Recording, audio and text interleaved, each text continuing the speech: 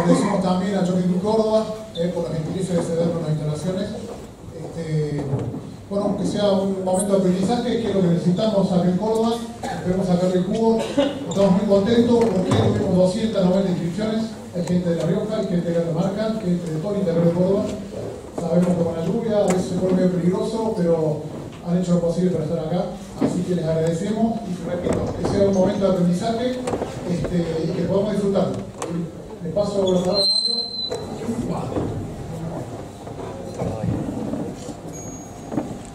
Bueno, ¿cómo andan? ¿Bien? ¿Yanata? ¿Bien?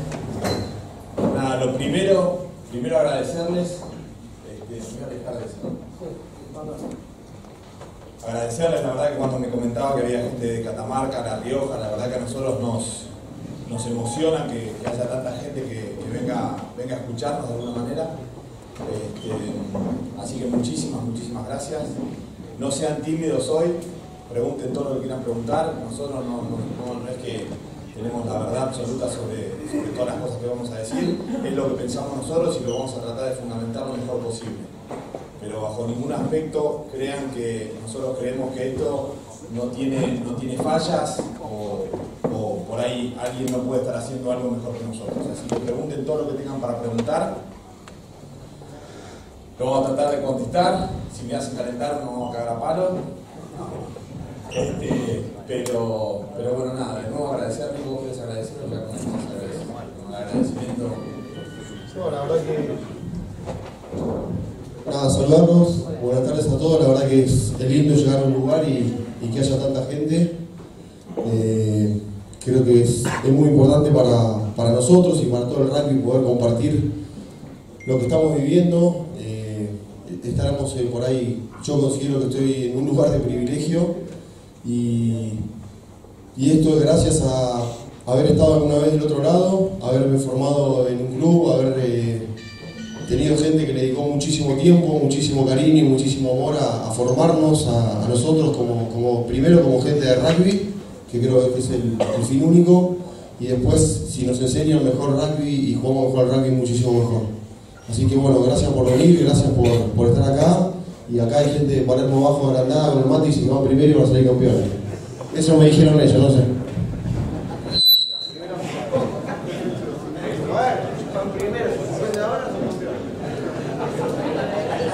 Ya pasó, ¿en qué año fue cuando Rosario le venía ganando a Francia y se cortó la luz antes y quedó como ganado? Y lo festejaron. Espectacular, en Argentina. Este, antes de pasarle a, antes de pasar a Germán, les quería contar un poco cómo desde el año pasado empezamos a encarar este tipo de cosas y cómo lo, lo, columnamos eh, atrás de nuestro coordinador de, capacitación. La idea, muchachos, es nosotros podemos llegar a, a muchos chicos, ¿no? A muchos chicos, pero no dejan de ser, no sé, en menores de, de 20 se llevó a ver, no sé, 150 chicos. Si nosotros vemos 150 entrenadores, se multiplica por 50, 60, y es un poquito la idea de acercarnos a ustedes y compartir y tratar de transmitirle todo lo que nosotros pensamos que está bien. Eh, nosotros siempre hablamos de subir el piso, subir el piso, subir el piso. Bueno, subir el piso pasa por ahí tener un, mejor ranking en todos los clubes, tener mejores competencias, tener mejores partidos, eh, tener mejores jugadores. Y, si, y los únicos que nos proveen de esos jugadores son ustedes. Cuanto mejor y más fluido esté ese laburo, mejores jugadores nos van a llegar a nosotros. Y una cosa que les quería compartir, que estuvimos hablando hoy con, con los presidentes de los clubes, todos nosotros nos la pasamos hablando de identidad y sentido de pertenencia eh, y cómo sentir la camiseta. Si no la sintieron nunca en su club, no la pueden sentir nunca en los Pumas. Y ese, ese es el desafío que tenemos hoy. Eh, como país que se está desarrollando dentro de un profesionalismo que no va a llegar a los clubes, pero tampoco lo vamos a parar. Esto es lo que es. Bueno, ¿cómo podemos hacer nosotros mejor las cosas? Cada uno desde su lado. Nosotros, nuestro mensaje es ese. Que el sentido de pertenencia y la identidad y la cultura, todo ese tipo de cosas, los chicos las maman en los clubes. Y nosotros, por eso hoy estamos acá, porque los queremos ayudar en eso. Pero después hay una parte de responsabilidad muy grande de los clubes, de los entrenadores, de los formadores, de los padres, Eh, hoy, me, hoy me decían, mi hijo tiene 14 años y me está hablando de ir a, a- a- no sé cómo se llama el centro de acá, Cefa, Cefar. ¿Qué hago? No sé qué, me tiene un cachetazo. ¿De qué, qué sé yo? Eso es responsabilidad nuestra, muchachos. Eso lo maman en casa y lo maman en los clubes. Hoy lo mismo, hoy nos decían, no, bueno, los chicos tienen como sueño jugar en los Pumas. No, como sueño tiene que ser jugar en la primera del club, como fue el sueño de todos los que estamos acá. Y si después llegamos a los Pumas, mucho mejor. Porque una estadística que es así acá y en cualquier parte del mundo. El 1% de los pibes llega a jugar profesional. Nada más. Y nosotros nos tenemos que ocupar del 100. ¿Eh? Y, sobre, y ustedes del 99% que queda. Que es un montón. 1%. 1%.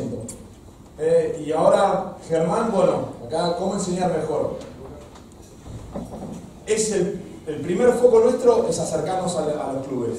Y el segundo es cómo enseñamos mejor, cómo transmitimos mejor. Eh, Nico siempre cuenta que Tito Fernández le decía, si vos sabés 8 y transmitís 4, sos 4. Si vos, vos sabés 4 y transmitís 8, sos 8. ¿Cómo, desmitimi- ¿Cómo optimizamos el tiempo que los chicos pasan en el club? Que es mucho menos que el que tenemos nosotros. ¿Podemos apagar los, los teléfonos? ¿Les sacamos el sonido? ¿Sí? Este, ¿Y cómo desmistificamos toda esta cosa de, de volver el rugby complicado? ¿Cómo simplificamos el rugby, pero no desde las cosas que hacemos, desde la transmisión para que le llegue clarito al jugador? Para que le llegue clarito al jugador. ¿Estamos? Ahora lo, voy a dejar a Germán y después con Nico vamos a ir participando. Y de nuevo, muchachos, vamos a ir frenando para obligarlos a que pregunten, pero pregunten en el momento que quieran preguntar.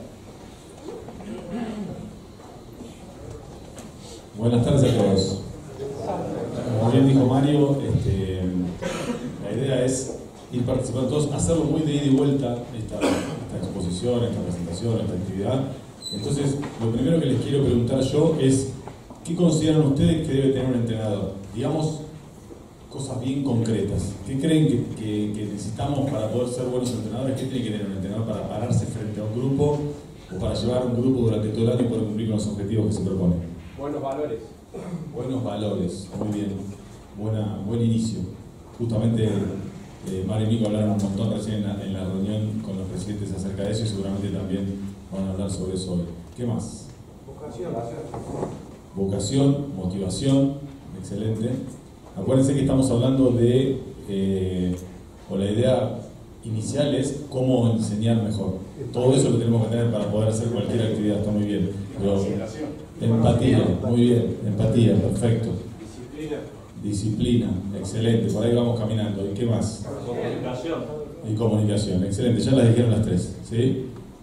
Eh, disciplina lo, lo reemplazamos por exigencia, pero empatía, exigencia y comunicación. Yo, yo en empatía digo ahí de ver la edad, porque a veces cuando estamos con chicos de rango infantil, esa empatía hasta se puede transformar en, cariño, en ternura con los chicos chiquitos, te- tenemos que tener esa parte.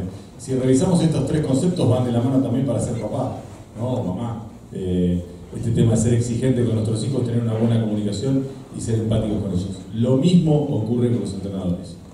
De un tiempo a esta parte, con la venida de Mario y Nico en, este- esta última etapa, eh, esa parte de la exigencia eh, se puso fuerte y tomó más, eh, más relevancia. Y a veces con estas nuevas generaciones que vienen estamos dudando si el tema de la exigencia o no, o, ponemos demasiada proporción en esta parte de la empatía y nos quedamos con el tema de la exigencia.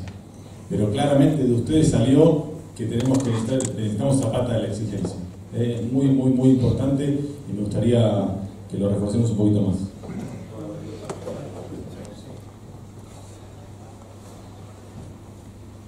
Bueno, ¿cómo, cómo entiendo yo exigencia, no?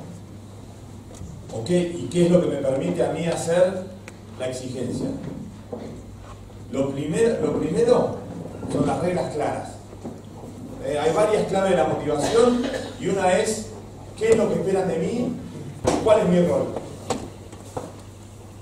Eh, y entonces con eso le sacamos toda subjetividad lo que tiene que hacer el jugador. Y obviamente les estoy hablando de jugadores de menores de 18 para arriba. Eh, yo no les puedo explicar de ahí para abajo, la, empatía no es muy fuerte, entonces con los chicos más chicos, mentira, con los chicos más chicos me sale, con los grandes no. Este, le saco toda subjetividad. Yo para poder medir si el tipo está progresando o no, si está haciendo su laburo o no, tiene que estar claro, él lo tiene que tener claro y yo ahí lo puedo evaluar. Y para poder evaluarlo lo tengo que poder medir. Y para poder medirlo tiene que ser objetivo. Hay una frase en inglés que es, yo no puedo manejar lo que no puedo medir. Bueno, es así. Obviamente hay partecitas grises dentro del, juego, pero como yo lo entiendo, tenemos que sacarlos depende del juego. Si yo me la paso diciendo depende, lo único que hago es perderlo al jugador. Reglas claras, ¿eh? claridad de los roles. Eso es exigencia. Feedback instantáneo al jugador para saber si el tipo está haciendo las cosas bien o no está haciendo bien. Y después fundamental. Yo no puedo ser exigente sin, sin que el tipo entienda qué es lo que le estoy pidiendo. Después nos vamos a empezar a meter en cómo desarrollamos eso. Pero yo no puedo ser exigente si yo no le puedo fundamentar al tipo exactamente qué es lo que yo quiero. Que no quiere decir que el tipo venga con una pregunta que yo no puedo responder. Ahí nos sentamos y lo charlamos. Pero en el 99% el 99% de los casos yo le tengo que poder fundamentar lo que le estoy pidiendo al tipo. Y tengo que ser objetivo. Yo no puedo decir, bueno, ¿cómo vas a defender ahí? Y depende. No, no depende de nada. ¿Cómo vamos a defender ahí? ¿Cómo defendemos de un rack? Así. No, bueno, y si me patino, y si me pasa esto, y te saco por boludo. Ahí yo te explico cómo defendemos ahí 10 sobre 10. Después hay cosas situacionales. Yo te explico ahí cómo tenés que taclear. Después es situacional. Si no llego, me tengo que tirar ahí, sí, tirate. El pase 10 sobre 10. Después es situacional, me agarraron la mano. Bueno, como puedas. Pero yo me concentro siempre en la solución. No en el problema que me plantea el tipo. ¿Se entiende alguna pregunta con eso? O sea que para liderar, Totalmente, y hoy hablamos mucho de, de conocimiento contra información. Eh, información, muchachos, no, no nos necesitan a nosotros para información. Prenden el telefonito, prenden la computadora y hay horas de horas de horas de horas de información. Conocimiento es otra cosa. Y nosotros latinos nos gusta mucho el copiar y pegar. Y cuanto más complicado es, mejor, porque no me aburro ni aburro a los chicos. No, muchachos. Lo que tenemos que entender es si eso que estoy haciendo me hace mejorar todos los días. No es un tema de aburrirse o no aburrirse. Y donde el tipo entiende que eso lo hace mejorar y después lo ve en la cancha y mejora, se acabó la discusión. Pero información contra conocimiento. Conocimiento, horas de horas entrenando, lo aprendí, lo, fijé si andaba, si no andaba, le pregunto a los jugadores, va, viene, y lo asiento adentro mío. Información, nada. Bueno, agarro el entrenamiento que hacen los australianos, lo vengo a hacer a Córdoba Athletic y los pies se ponen la pelota en la jeta. Y encima les voy a ir a decir cómo a estos pies no les salen. ¿Eh? Y, le, voy a decir algo que me dijeron a mí un montón de veces. Cuanto más señalo a los jugadores, más me señalo yo. Más me señalo yo. ¿Por qué se le cae la pelota? Y seguramente yo no estoy entrenando bien. ¿Por qué ahí no defiende? ¿Por qué no taclea? ¿Por qué no hace esto? ¿Por qué no hace lo otro? ¿Eh? Cuanto más lo señalo, más me señalo yo. Entonces esa exigencia empieza por casa. Yo tengo que ser el tipo más autoexigente del equipo para poder bajar esa exigencia. Y lo tenemos que entender todos así. Desde el head coach hasta el utilero. Porque si hay una fisura en ese caminito, chao, perdimos. La exigencia es para todos igual y empieza por casa más que nadie. Yo conmigo tengo que ser terrible. Porque si no, soy un atorrante. Después soy exigente con todo el mundo, menos conmigo mismo. Dijo, ¿vos le querés sumar a eso? Yo, una sola cosa que, que por ahí nos pasa hoy, por, yo les hablo del lugar del entrenador, de haber entrenado chicos de menor 17, menor 19, y hasta de hoy entrenar una primera división del club es casi entrenar como unas 19 de antes por la cantidad de chicos jóvenes que hay y lo que fuere. Creo que se entró un poquitito en lo que pasaba a mí y le les pasa que entramos y bueno, los chicos de hoy son diferentes, eh, tienen otras prioridades, no les gusta que los exijamos, no les gusta que los apretemos, no les gusta obligarlos a buscar el límite. Y creo que eso sí les gusta, creo que depende realmente de, cómo lo hagamos y realmente, creo que todos los chicos necesitan un poco de eso, necesitan buscar su límite, encontrarlo. Lo que tenemos que buscar nosotros es la forma de hacerlo y como dijo Mario, pasa primero por uno. Creo que primero tenemos que ser bien exigentes con nosotros en cómo me preparo y cuánto estoy dispuesto a darle a los chicos, a mi club, al equipo que entreno. Y los chicos con lo primero que se copan es con el compromiso que tiene el entrenador. Creo que lo que determina un entrenador es el compromiso que uno tenga para con los chicos. Cuando los flacos terminamos comprometidos ya compran. Les puedes decir patearla para atrás y la van a patear. Pero creo que tenemos que tener, eh, no sé si llamar las agallas o los huevos de, sí, animarlos a exigirle a los chicos a ser mejores todos los días, a sacarle lo mejor de ellos todos los días y que para lo único que tenemos este jueguito, en definitiva, es para hacernos mejores todos los días y animarnos a hacer lo que nos enseñan en el club, adentro de una cancha, en el entrenamiento, afuera de la cancha, en la vida, en el laburo, en el estudio, en mi casa, en la familia. Creo que eso no lo tenemos que perder y realmente por ahí volver un poco a los entrenadores un poquito antiguos que teníamos nosotros, que te apretaban, que te iban a buscar, que te sacaban lo mejor, creo que eso tiene que seguir vibrando en nuestro rugby y es lo que tiene que tener un entrenador. Y con respecto a eso, y ya le, paso, le paso de nuevo a, a Sherman, la exigencia es para todos la misma. Eh, no hay eh, Juan Hernández, entonces a Juan como la rompe toda no lo puedo exigir, no, ese tipo de más tengo que exigir. O lo tengo que exigir igual que al resto. Y eso es otra de las cosas que compran los chicos. Y lo que dice Nico, este tema de comprometerse, bueno, cuando uno es exigente, te estás desnudando enfrente de los pibes, porque sabés que te puede salir el, tiro por la culata. Pero ese es el compromiso que uno asume. Yo me la juego entera y les, les exijo hasta la última gota. Y me la juego. Y si viene, viene, y si no, me voy a mi casa. Pero uno se compromete así, y es lo que dice Nico, cuando los pibes ven que vos te pones al borde del precipicio y te tirás, y bueno, en la gran mayoría de las veces te siguen. Y lo que nosotros encontramos es un grupo ávido de esa exigencia. Cuando bajábamos la exigencia en las semanas, enseguida venía, no, no, no, no tuvimos una buena semana, ¿viste? no nos apretaron esta semana. Y apretar no es putear, o no es impronta. Eh, hay tipos que tienen una impronta, otros tienen una diferente, y, un- y uno con una voz de pajarito puede ser igual de exigente que uno que tiene una voz arrón y lo vive puteando. No pasa por ahí. Es por exigirle al tipo de que haga su laburo y de que conozca su laburo.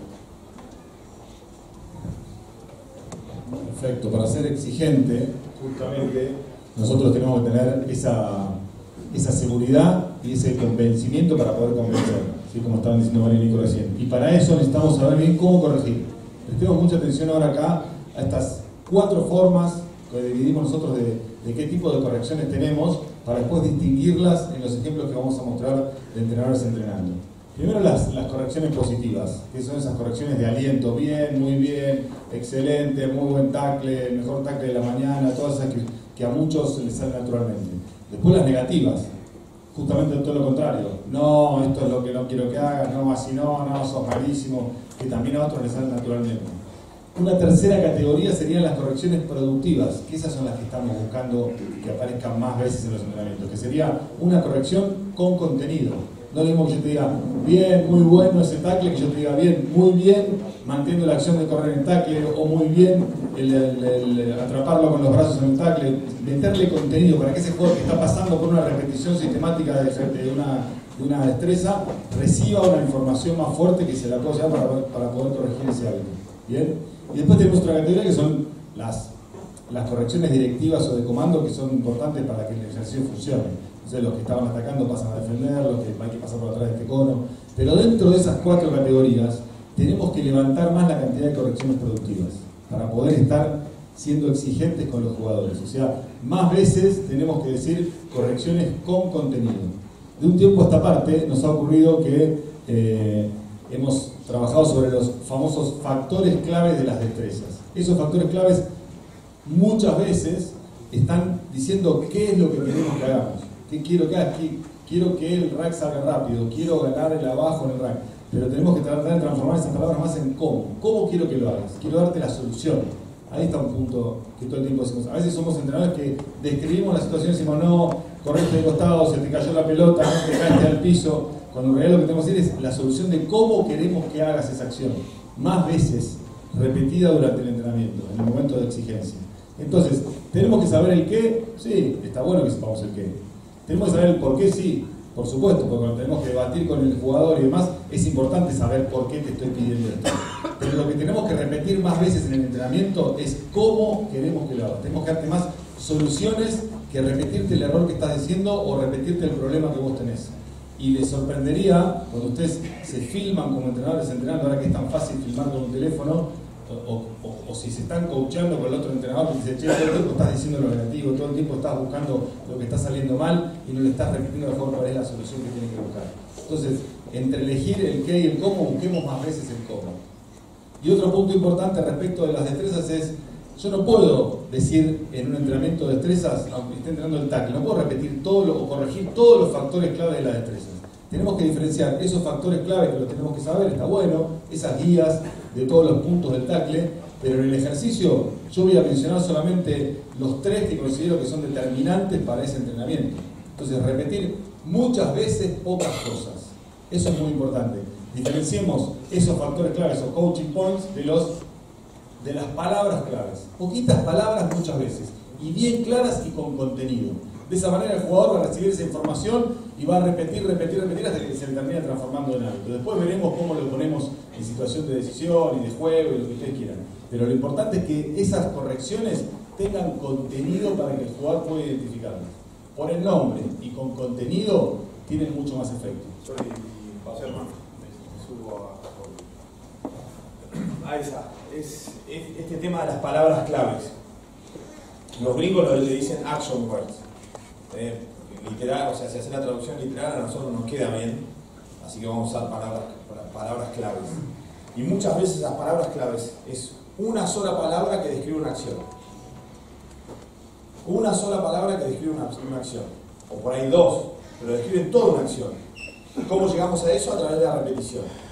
¿Eh? Nosotros al principio de- del entrenamiento hacemos hábitos de, de, de o sea, de agarrarla y pasarla, de rack y de tackle. Y todas las cosas que vamos, que vamos corrigiendo ahí, que ese es el momento de sobrecoachar al tipo, porque uno le está generando hábitos y para generar hábitos tiene que hacer exactamente lo mismo un montón de veces. Ahí es donde yo voy instalando esas palabras claves. Yo le instalo, le instalo, le instalo y le explico al jugador que ese es el momento donde yo lo voy a sobrecoachar.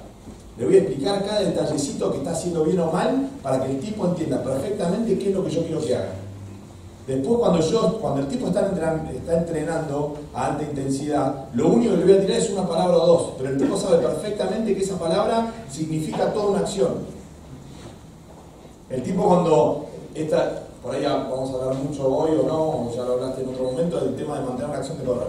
Mantener, mantener la acción de correr, y Nico, el negro, yo, en los entrenamientos la debemos repetir 1500 veces cada uno.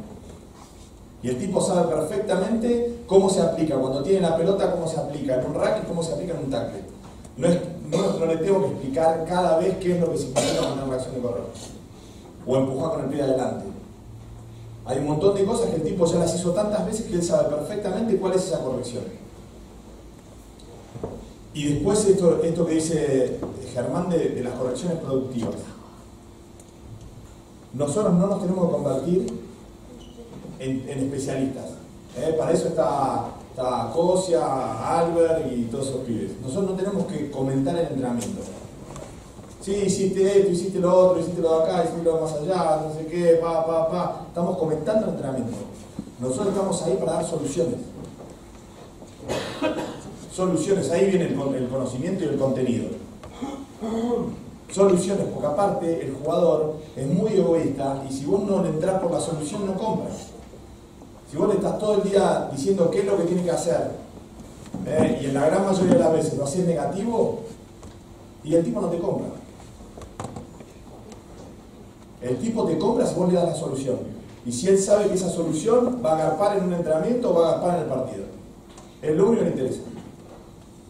Y a nosotros también. Eh, nosotros estamos todo el día y llévenlo a cualquier entrenamiento. no corras torcido. ¿Le estamos diciendo qué es lo que tiene que hacer o cómo lo tiene que hacer? No, estamos diciendo lo que no tiene que hacer. No te cruces en el Scrum. ¿Hay entrenadores de Scrum? ¿Vos o entrenadores de Scrum? El Scrum. ¿Cuál? ¿Eh? ¿También los de Scrum? ¿Y el de Scrum? ¿En serio? Pero, ¿cuántas veces se escuchan ustedes diciendo no te cruces? ¿Eh? El otro día trabajamos con un tipo de, neurociencia. Si yo le digo ahora, en este momento le digo, no piensen en un elefante blanco. No piensen en un elefante blanco. ¿Qué piensan? Elefante blanco. ¿Eh? Si yo te digo, no te cruces, lo primero que se te, lo, cruza es que cruzarte. Yo le tengo que decir exactamente qué es lo que quiero al tipo. Derecho. No corras torsión, no, corre derecho. No te frenes, no, mantén la acción de correr. Es la única manera que yo puedo evaluar si el tipo está haciendo lo que yo le pido o no. Si yo le pido lo que no tiene que hacer, va a hacer eso. Y no le, estoy- dando ninguna solución. ¿Se entiende o no se entiende? Eh, y a mí me costó un Perú. Tenía un gringo al lado que limándome la cabeza todo el día diciéndome decirle lo que tiene que hacer. Decirle lo que tiene que hacer. Y ahora me, disfruto de decírselo a Nico, al negro, me pongo al lado, decirle que que hacer.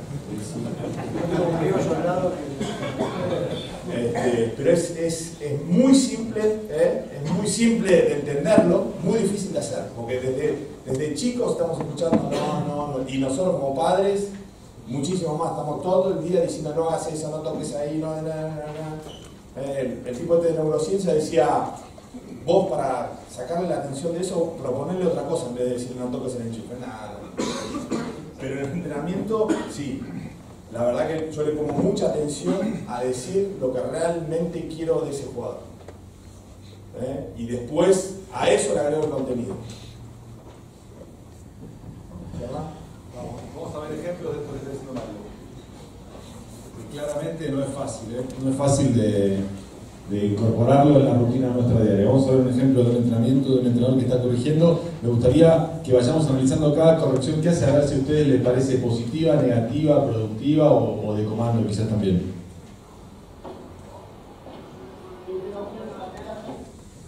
Pongo el micrófono acá, así que va todo.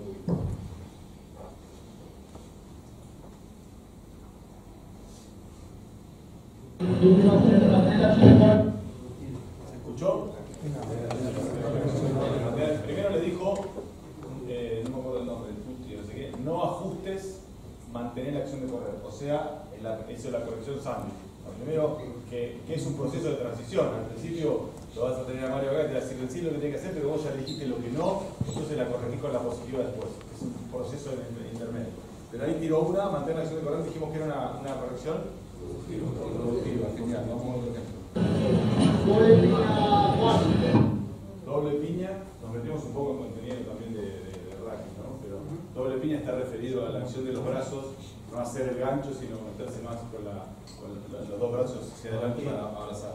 ¿Ok? Entonces sería una palabra clave que es una corrección productiva. Mejorar la altura. ¿Puedes explicar eso no de frente, Marito? Nos metemos un poco en lo técnico. ¿Escucharon que dijo no de frente? Es que, ¿a, qué, a, qué, a, qué, ¿A qué la orientan esa corrección no de frente? Al encuadre. ¿una corrección positiva, negativa o productiva? No quiero que hagas esto, es exactamente el mismo ejemplo que Mario no te cruces. ¿eh? Pero el no lo enfrentes, que se, que del camino. Eh, en realidad todo este tipo de cosas se van a hacer en, en cancha y es bastante más fácil de, explicar. Eh, puntualmente con, con esto del- de la defensa, ¿no? A ver, vamos a mostrar un ejemplo. Nosotros, por ejemplo, yo, estoy defendiendo el rack está acá y estoy defendiendo de este lado, de este lado del rack lo estoy defendiendo a él. Durante muchísimo tiempo nosotros enseñamos este tema de pisar la alfombra, pisarle el cordón. ¿eh? Si, si ustedes ven eso de manera gráfica, cuando yo vengo a pisar la alfombra y pisar el cordón, generalmente piso ahí. Eh, arranco pisando con el talón, eh, que quiere decir que me estoy frenando. Eh, y después lo que hago mucho, como me dicen que tengo que poner ese último, ese último apoyo cerca del contacto, ¿qué hago con el último paso? Si estoy lejos. ¿Estoy fuerte ahí atacar? ¿Eh? ¿Y cuántas veces lo vemos? ¿Eh? Entonces, eso explica un poco el tema este de mantener la acción de correr. Si yo mantengo la acción de correr, después vamos a, ver el tema del mismo pie, mismo hombro, pero si yo mantengo la acción de correr, yo sí o sí, este último paso va a ser más corto, más fuerte y voy a poder empujar con el pie adelante. Si yo estoy pensando en que tengo que poner el último paso cerca de- del contacto y encima tengo que hacerlo mismo pie, mismo hombro, voy a, voy a terminar ahí. ¿Eh? Y lo que, ¿qué es lo que hace que ese tackle sea dominante? ¿El golpe o el laburo que hacemos con las piernas? El laburo que hacemos con las piernas. Y muchas veces cuando nosotros estamos entrenando y lo van a ver, bueno acá no sé si está el ejemplo, buen golpe y el pibe por ahí el último paso hizo un paso, está abierto de gamba como una bailarina, pero le metió un golpazo. ¿Qué pasa si ese pibe se mueve medio centímetro para el costado? Lo erró. Eh, son esos tipos que se tiran y le pasan a un metro. Sobre todo forward, que en el último o, hacen ese paso largo o dejan los dos pies juntos y se tiran en palomita. ¿Eh? Y después este tema de no lo enfrentes. Cuando nosotros queremos venir a hacer ese último paso, generalmente no lo hacemos desde acá. Porque a vos te explicaron que tenés que venir a ponerlo acá. Entonces cuando yo salgo a, cuando yo salgo a defender y lo tengo que encuadrar, ¿cómo lo encuadro? ¿Yendo hacia adelante o, me, o lo encuadro? ¿Eh? Pero si yo estoy, yendo hacia adelante, ¿lo estoy encuadrando? ¿Eh? Para mí sí, pero para, durante muchísimo tiempo el encuadre es este. Este lo estoy encuadrando. ¿Están de acuerdo o no? ¿Eh? Totalmente, pero yo si le- los voy a venir a ver entrenar, porque me interesa. Pero cuando nosotros llegamos, por lo menos, esto lo encuadramos. ¿Eh? Entonces, ¿el tipo qué hace? ¿Sale para adelante o sale para el costado? Y esa es la corrección que hacen ahí. Yo me estoy imaginando a dónde, a dónde va a ir ese tipo. Y encima le estoy dejando elegir a él a dónde va a ser el contacto. Yo si, si ya estoy hombro interno, ¿cuál es mi hombro fuerte? Yo ya lo estoy, yo para mí acá lo estoy encuadrando. Así lo estoy encuadrando. Que es lo mismo que así para mí. Y después mantengo la acción de correr. Y yo llego con este hombro acá y mantengo la acción de correr. Pero muchos, y sobre todo los forward, lo primero que hacen, lo primero que hacen es este movimiento y después salen. Pierdo tiempo, lo dejo elegir a él, le doy dos frentes, decía vos, y, él va a decidir el contacto. Eh, ¿Se, entiende? Porque es difícil, así, teórico, no, no. Creo que, perdón Mario, lo realmente más importante y determinante que las gambas te meten en el tackle. Nosotros, la mayoría que estamos acá, somos más grandes, nos enseñaron a taclear tirándote un palomita, el que llegaba a meter el hombrazo era el que más vos tenía, y realmente eso es todo lo contrario, te golpea la cabeza, te golpea, llegás mal parado, no decidís vos el punto de contacto, y realmente si vos tacleás sobre tus gambas, decidís vos el punto de contacto, le sacás tiempo, le sacás espacio, Exactamente, el sobre las piernas y manteniendo la acción de correr. Lo que dice Mario, lo repetimos como tontos, pero es así. Manteniendo la acción de correr, vos decidís dónde tacleás. Manteniendo la acción de correr, vos te metés en el tackle. Vos ganás el abajo, vos seguís empujando con la pierna adelante, vos lo sacás al equipo, al equipo del apoyo, vos decidís siempre. Cuando vos te plantás o cuando vos te tirás, el que decide es el que tiene la pelota. Y vos, dijiste algo que es, importante. Ahí empieza el tackle.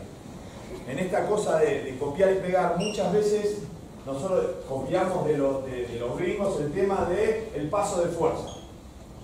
¿Cuál es el paso de fuerza? ¿Este? El siguiente, el siguiente, y el siguiente. Yo siempre empujo con la pierna adelante. Siempre empujo con la pierna adelante. Mi paso de fuerza ahora es este, y después va a ser este, y después va a ser este. El paso de fuerza que nosotros le preguntábamos a los chicos y los chicos consideraban este paso de fuerza. Pero yo de acá no salgo más. Yo tengo que estar acá y poder empujar con esta y empujar con esta. Y así sucesivamente. ¿Alguna, alguna pregunta? Mario, eh, eh, esto de, de no enfrentarlo, eh, Fernando quería también eh, explicar el tema del cambio acoplado, ¿no? Eh, lo que sucede cuando enfrentar, si lo podemos mostrar eso, que frente a través de Sí, yo no, no, no, no, no había usado nunca el camión acoplado o... Sí, o sí. sí, Ah, bueno, pero lo dije en diciembre de No, que, que si te pones muy de frente y das el último paso para encuadrarlo de frente, se te va como el, el acoplado del camión y quedas débil. Y, a- y aparte tiene que ver, en realidad tiene que ver con qué empujo. Si yo no estoy manteniendo la, la- la acción de correr y este último paso es largo, él va a determinar el, el punto de contacto y él, él va a forzar con las piernas. Yo ya no tengo más piernas. Entonces generalmente él se me va a ir acá y yo quedo pasado. Si yo mantengo la acción de correr, ahí lo atravieso. Usted ve muchas veces los tipos, ponerle tipos rápidos que vienen cerrando a un win y cuando están acá se tiran. Y el tipo rápido tiene que llegar acá y atravesarlo. Eh, Y, no sé si se acuerdan, bueno, no se acuerda nadie, pero el año pasado, cuando jugamos Hurricanes, Sabea la garra contra la línea. Y nos pasamos, cambiamos el acoplado, cuatro o cinco pibes. Porque todos lo vinieron a fre- a enfrentar. Yo Germán es, es Sabea, igual, igualito. Sabea hoy. Los dos son negros. Yo, esa vea, ¿cómo me conviene agarrarlo a? ¿De costado de frente? De costado. Yo ya lo tengo, en mi hombro fuerte, soy tan rápido como él, porque uno fue Bauti Demi, el otro fue Gonzalo Tranúnico, Sánchez, el Tostado, pasaron todos, todos vinieron a enfrentar. A pisar el cordón, a pisar la alfombra, cuando acá lo tengo donde yo lo quiero, a donde yo lo quiero. Y yo determino cuán fuerte lo voy a golpear a él. Si yo mantengo la acción de correr, no lo golpeo fuerte, pero lo tengo que agarrarlo y en el peor de los casos estoy ganando tiempo para que venga otro tipo. Si yo me tiro desde acá, ponele, me tiro desde acá, salea, un reboto. Si lo vengo a enfrentar, me pasa por arriba como lo pasó por arriba. Entonces, si yo ya lo tengo acá, ya me quedo acá y lo atravieso. Mantengo la acción de correr, contacto con, con el hombro. No, en realidad las dos piñas primero que determinan el contacto con el hombro, pinza y a casa. Y hoy, por ejemplo, ¿cuántos tackles le ven a errar a, Bauti Demi hoy, por ejemplo? Ninguno. En la gira de noviembre no erró un tackle. Y en, los primeros partidos de este año, es más, contra Blues, hay una salida que lo frena en seco a Rico Giovanni. Le saca 30 kilos, pero por abajo de las patas. Pero él determinaba el, punto de contacto. Cuanto más chiquitos son y entienden eso, ellos determinan cuán, cuán fuerte es ese golpe. Si él se frena ahí, determina Rico Giovanni y te pasa por arriba. En una situación de rugby en la cual los jugadores están quietos y siempre, siempre te dicen cuando vas a defender el rack que corres a tu compañero para, para, para esto, sobre todo los jóvenes. Eh, en ese caso, ¿cómo le, le marcas el tackle, no, no le enfrentes, sino estás No, no, sí. Sí, sí, Nosotros lo que, lo que pedimos en ese, en ese espacio es ya estar, ya estar con él, enfrentado. ¿Pero por qué? ¿Cómo corre el 99,99% de los pibes? Un poquito de costado. Un poquito de costado. Entonces vos ya ganás tiempo y ya lo agarrás más fuerte que si vos te pones dos metros adentro de ti. Está metiendo. Vos te pones enfrentado a él y el tipo, y el tipo se va, si se va muy lejos tuyo, ya es tuyo, vos salís derecho. Si se va para adentro, eso tampoco es tuyo. ¿Se entiende? Y después eso tiene. Bien, nos vamos metiendo también en contenido técnico que era para ver en la cancha, como dijo Mario, es más difícil explicar acá, pero no queríamos dejarlo pasar. Igual seguimos con las correcciones, por ahora venían dos productivas y una negativa. Mejor, mejor, es una corrección positiva, bien. Empujar con el pie delante, ¿no? Que lo dijo varias veces cuando mostró el ejemplo. Es una, es una corrección productiva y por nombre además está mencionado.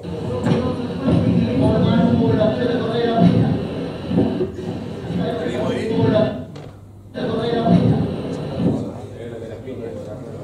Miren que yo ahí le puse la frecuencia y la cantidad de corrección. ¿Está, está corrigiendo, está corrigiendo con frecuencia, con una buena frecuencia el entrenador? Por ahí está un poco apurado, está, como un pasado de rosca.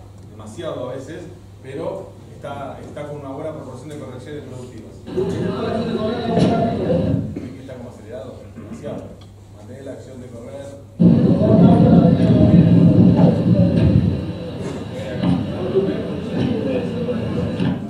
Bueno, ahí, eso, esto es algo fácil de medir. O sea, nosotros mismos como entrenadores nos podemos ir midiendo, a ver qué tan, qué tan bien estamos corrigiendo, qué cantidad de correcciones de esas podemos hacer durante un ejercicio. Vamos a ver otro ejemplo. No tocó el cono. Primero explico el ejercicio para que se vea, para que ustedes puedan ver qué son las correcciones. Un cuadrado acá y el jugador está con el culo tiene que tocar un cono. Primero, pero no, antes que, que pases este ejercicio, el tema del tackle. Realmente la, la repetición que hay que hacer con esto es todos los entrenamientos, todos los entrenamientos, todos los entrenamientos. Para que realmente incorporemos ese gesto, todos los entrenamientos que hagamos, que incluso martes, jueves, dedicar un ratito de tiempo a la parte técnica del tackle, como estamos viendo acá. No necesitamos matarnos a golpe ni uno contra uno a reventarse, sino que el tipo labure la parte técnica siempre. Después eso lo va a transferir a la cancha. Y sobre todo cuando son más jóvenes lo aprenden a los pedos. Los dos ejemplos, el ejemplo que le dio recién Mario de Bauti Deli, lo aprendió mucho más rápido porque tiene menos vicio que un tipo grande que es mucho más jodido sacar, sacarle los, los chotos y enseñarle esto. Aprovechen que generalmente la mayoría de entrenar chicos jóvenes de meter desde ahora buenos hábitos. Igual, Nico le dice hacerlo todos los entrenamientos. Un minuto y medio. No, no es más que eso. Y a veces, si ustedes sienten que les está costando un poquito más, se lo meten un minuto, dos, tres veces en el entrenamiento. Estás haciendo un entrenamiento de lo que estés haciendo y volvés a eso un minutito. Nada más. Eh, no es, tenemos que hacer media hora de, de, de taque así. Nada, los pibes al segundo entrenamiento se fueron. Y después, perdóname antes de, no esperar que de, no en dos semanas veamos de estos tackles la mitad de los tackles del partido. Con que veamos el 10%, el 15% y empiece a poquito a aparecer esto, tenemos que estar contentos. Porque esto te lleva tiempo, te lleva repeticiones, te lleva, como decía el entrenador del que habla Mario, decía, tenés que hacer 3.000 veces este gesto bien hecho, perfectamente hecho, para que el tipo lo incorpore y lo empiece a hacer asiduamente en un partido. Cuando haces un ejercicio de hábito, ¿sí? ¿Cada cuánto conviene cambiar el ejercicio que haces, por ejemplo, de tackle? ¿Haces siempre el mismo durante una cantidad de tiempo o lo vas Yo te, pregunto a vos, y, y- y es de alguna manera la forma en que nosotros planteamos este tipo de charlas con los chicos. Si es un hábito, si es un hábito y nosotros creemos que hay una forma de, machacar ese hábito y, justamente conver- conver- convertirlo en hábito desde la, comuni- la comunicación de las neuronas, ¿lo tengo que cambiar? No. No tengo que cambiar. Por eso no lo puedo hacer 10 minutos. Lo tengo que hacer un minuto. Pero, va, yo martillo eso, martillo, martillo, martillo. Porque yo estoy construyendo un hábito. Si yo cada dos semanas me cambio el hábito, primero es que no creo que lo que estoy haciendo está bien. Y yo estoy convencido que lo que estoy haciendo está bien. Y después lo pierdo al tipo. Pero no era así que lo estamos haciendo. Y de nuevo, el tipo tiene que entender por qué lo hace, qué, qué- cuál es el beneficio que le va a traer a él hacerlo, más allá de si, si juega o no juega. El beneficio a él como jugador lo tiene que de alguna manera empezar a sentir, empezar a ver, y después tiene que sentir que eso lo va a hacer mejor jugador. Y que va a mejorar cada vez que lo haga. El pibe no viene a marcar tarjeta cada vez que hacemos hábitos. Y, y los primeros que tenemos que estar convencidos de eso somos nosotros. Por eso le estamos encima todos los entrenamientos igual y de a tres o de a cuatro. Y pa, pa, pa, pa, pa, pa, y nunca le aflojamos un entrenamiento ni, ni en, ni, en, ni en la actitud que le metemos a la corrección, ni a la corrección en sí misma, ni la asiduidad en que le hacemos la corrección, nada, es todo el tiempo, todo el tiempo, todo el tiempo. Vos Sí, con respecto a eso último que dijiste, el tema de las correcciones, no sé si usted considera que fue mucho o poco, porque por ahí corregía, eh, de distintos tipos de corrección, digamos, pero corregía con cada jugador que pasaba, en cuanto a la periodicidad o a la... El- si yo, si yo no, si yo le, en este, en este momento del hábito, es a cada jugador lo que vos estás viendo, porque estás construyendo el hábito. Estás construyendo, eh, construyendo el hábito y nosotros nos hemos acostumbrado mucho, te digo en el rugby profesional, ustedes por ahí no tienen tiempo, a corregir mucho con el video, y después, y decirle, ¿te acordás esa que hiciste hace cuatro pasadas, que hiciste mal con el pie? No. El tipo si no lo siente ahí, en el momento que lo está sintiendo, vos no lo corregís, no vuelve más esa sensación. Él lo tiene que, lo tiene que sentir en ese momento y la corrección tiene que venir en ese momento. Y hay pero hay que estar convencido de eso. Si yo siento que lo estoy volando, o si viste, o digo, che, no estaría hablando mucho, me importa tres carajos, yo le estoy construyendo un hábito. Y sé que eso garpa. Y sé que eso garpa y cuando sea hábito me lo va a agradecer todos los días de su vida. O por lo menos eso es lo que yo me digo todos los días. Este, pero el feedback tiene que ser instantáneo y a cada uno de los jugadores. No así en el entrenamiento. No en un entrenamiento, no sé, vas a hacer lanzamientos o vas a hacer un equipo contra el otro, vas a hacer un juego, te pasás corrigiendo cada uno de los jugadores todo el tiempo. Es alguna cosa que vos viste, ves que es medio recurrente en el jugador, ¡pum! Ahí viene. Pero acá, a todos y todo el tiempo. Obviamente Martín ahí está solo con un montón de chicos. Nosotros de repente tenemos la misma cantidad de chicos y somos cuatro. Entonces por ahí pasás por al lado y le decís empujar pie adelante, viste, doble piña, mantener acción de correr. Y volver con el hábito, a veces hacer un hábito y poder volver. Los, los- eso se hace en, cualquiera de los deportes y, y los, los tipos los llaman randomizar. Vos agarrás y tenés eso como hábito y después lo pasás a un, a un juego, por ejemplo, no sé si estás haciendo agarrar y pasar, después lo pasás a algo como- tan simple como un 3 contra 2 para ponerlo en situación, pero ahí no estás construyendo el hábito. Y después volvés volver al Sí, y después pasás a defensa y después volvés volver al Sí, y, no, y no tiene, y no tiene por qué salir perfecto. No tiene por qué salir perfecto. Pero el tipo tiene que entender por qué lo hace, cómo lo tiene que hacer. Lo tiene que internalizar, si no lo internaliza lo pasa a hacer. Exactamente. Pero eso viene a través de la repetición, no hay otra cosa. Uno cuando empieza a entrenar siempre está buscando la, solución mágica. Yo me acuerdo, no sé, yo estaba en Montpellier, había un, equipo de, de, handball que era buenísimo. Y entonces yo quería ver cómo saltaban los pibes y qué sé yo. Entonces voy y me pongo a hablar con el entrenador de handball. ¿Viste? Porque el salto es bastante vertical, entonces yo decía lo mismo con el entrenador de vóley. Y yo le decía, bueno, pero ¿qué, qué hacen? ¿Qué hacen? Y, y mirá, yo, el lunes hacemos 1500 saltos, el martes hacemos 2000. Yo decía, "Este está cagando, está cagando, me está escondiendo, yo sé que tiene una fórmula mágica, no me la quiere decir. Y después fui al de básquet y, nada, sí, el martes hacemos 1500. Y lo mismo, sí, bueno, me fui a hablar con un arquero para ver el tema de la. Y ataja 4.000 pelotas por partido. Pasa por el laburo y la repetición, no hay otra.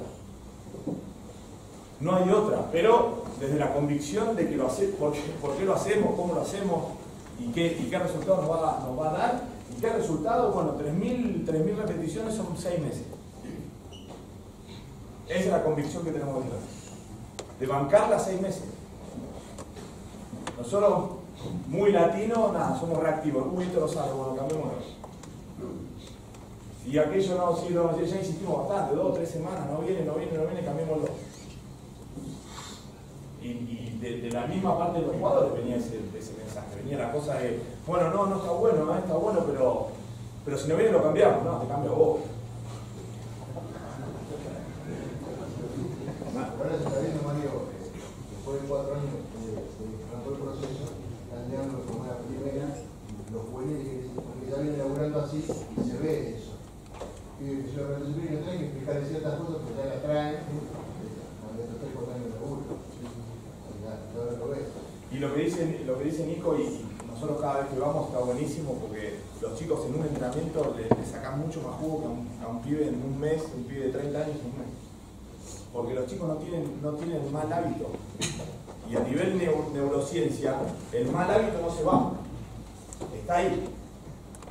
Disminuye un poquito, pero no se va. Lo que tenemos que hacer es generar un hábito mucho más fuerte para que el chico vaya a ese hábito cuando, cuando está bajo presión. Cuando después de las 120 pulsaciones no empieza a ver nada. El tipo va, el, el, el- ¿cómo se llama? El cerebro va a lo más fácil. Bueno, lo más fácil es ese, hábito fuerte que tenemos ahí. Pero el otro está. Si este lo hicimos así y este lo así, va a ir a este. Por eso, y de nuevo, nosotros tenemos mucho más tiempo. Pero, ¿quién no tiene dos minutos por entrenamiento? Todos. Todos tenemos dos minutos por entrenamiento. Como para poder hacer esto. Y, y más también. Pero dos minutos por entrenamiento de cada una de estas cosas tenemos, pero seguro. El tema se complica ¿Está estipulado cuánto, cuando trabajas el hábito, dote cantidad de jugadores, cantidad de veces tiene la repetición en esos dos minutos para que realmente se trabaje el hábito efectivamente? ¿Está estandarizado? Sí y no. La verdad que nosotros, de nuevo, tenemos que manejar también el tema de cuánto tiempo lo podemos hacer para sacarle el, ma- el mayor jugo posible. Yo te diría, diferente es el tema del pase, pero en el tackle los tipos deben hacer 10 tackles. ¿Por ahí, Nico? Sí, un poquito más. Y eso va también, depende del material que tengas, la cantidad de, no sé, de pelotas, pero este ejercicio lo puedes hacer hasta sin, sin no necesitas ni el escudo. Acción de correr, pase los brazos, lo cierro. Cuando pase los brazos, lo cierro. No, no, te compliques, cuanto más veces lo hagas, mejor va a ser. Pero después hay, está esa cosa también. Eh, esta cosa la- me la complico. Eh, simplifiquémoslo. Hace dos minutos ni lo cuentes. No te vuelvas loco. Porque no hay de nuevo, no hay fórmulas más. Yo no te puedo decir esto va, se va a hacer así, a vos te va a funcionar así, a él le va a funcionar así. No. Y depende de los jugadores que tengas, depende de la receptividad, depende de tu forma de entrenar y transmitir. Pero focali- focalicémonos más en eso, que en toda la, la parte de información. ¿Se entiende o no? Sí. Mario, ¿y a los jugadores le decís eso? ¿Qué cosa? Sí, y pica la cabeza hasta que termine, nosotros sería hasta que termine el año haciendo este ejercicio. Sí. Porque también Pero le explico le- lo mismo que le estoy hablando a ustedes, de, de cómo genero el hábito, de- del mal hábito y cómo voy a hacer eso. Es más, o sea, la semana pasada trajimos un tipo para que lo viniera a explicar científicamente. Yo le piqué la cabeza con eso todo el año pasado y yo les explicaba desde mi poquita, poquito conocimiento de neurociencia, se lo explicaba yo, no es lo mismo que venga un profe de la facultad a explicar. Y el tipo dijo exactamente lo mismo. Este es famoso. No, Y no sé si es famoso o que no cómo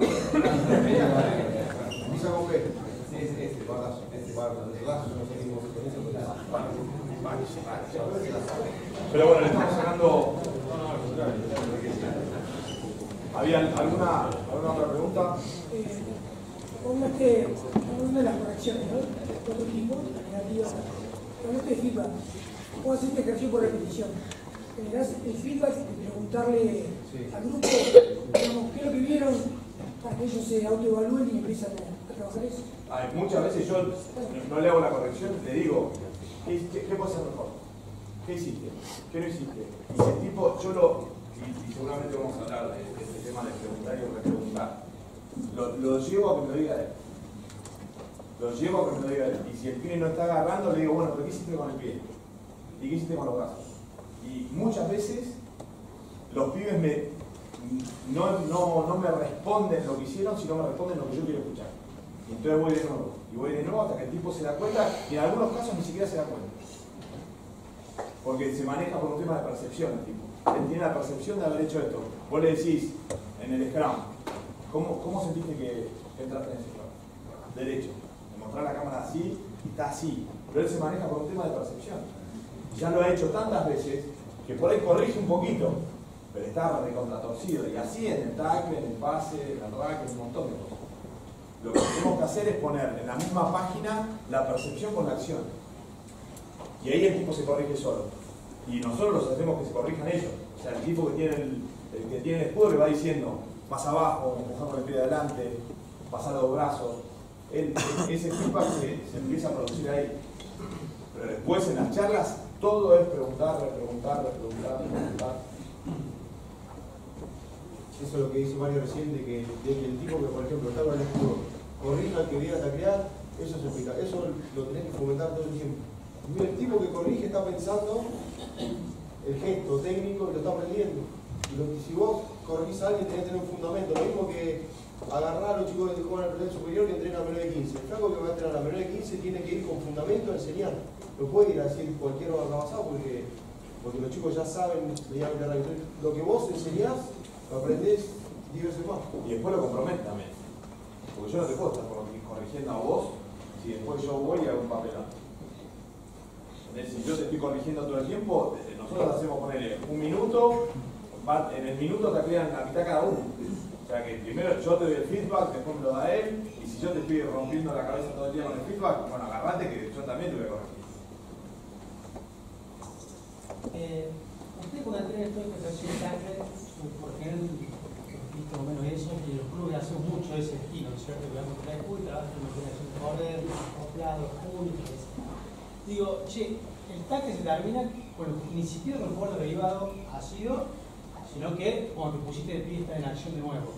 Entonces mi pregunta es, trabajando el hábito del tackle, ¿en qué momento trabajan esa otra parte, por la terminación del tackle? Porque por ahí digo, che, si trabajamos el hábito, al final lo trabajamos en todo el hábito de llegar. Impacto, atravieso y suelto. Sí. Ahí termina, impacto, atravieso y suelto. buen- no, buen punto, buen punto. Nosotros después hacemos un ejercicio que empezamos, que lo llamamos ejercicios medio de claridad, empezamos con un rack y defendiendo generalmente más tipos defendiendo que atacando, y los tipos ahí los llevan hasta el piso, se levantan y organizan. Y al principio lo hacemos al 50%. Tac, y vamos de nuevo, y vamos de nuevo, y vamos de nuevo. Y cuando vemos que los tipos, si, si los tipos no pueden caminar, yo no voy a hacer correr una carrera de 100 metros. Entonces, si el tipo no lo está haciendo bien y nos quedamos ahí. Y nos quedamos ahí, nos quedamos ahí, y a donde sentimos que podemos ir, bueno, después vamos de nuevo, y ahí ya, yo cuando le empiezo a meter un resultado a la destreza no es más, no es más un hábito. Porque si yo te digo, yo nos ponemos eh, el pelado contra mí, a- en un canalcito así, y, gana el que hace más trajes de un lado y del otro, lo frenamos como podemos. Y en una lo voy a agarrar así, y en la otra lo voy a atacar abajo, y en la otra lo voy a, lo voy a agarrar del cuello. No, yo le pongo resultado al hábito, no es más hábito. Después puede tener otra, otra, otra significación en ese ejercicio, o otro foco, u otro foco ese, ejercicio. Pero el hábito es ahí, y es verdad lo que decís, nosotros en ese ejercicio particular es mantener la, el foco está puesto sobre mantener la acción de correr.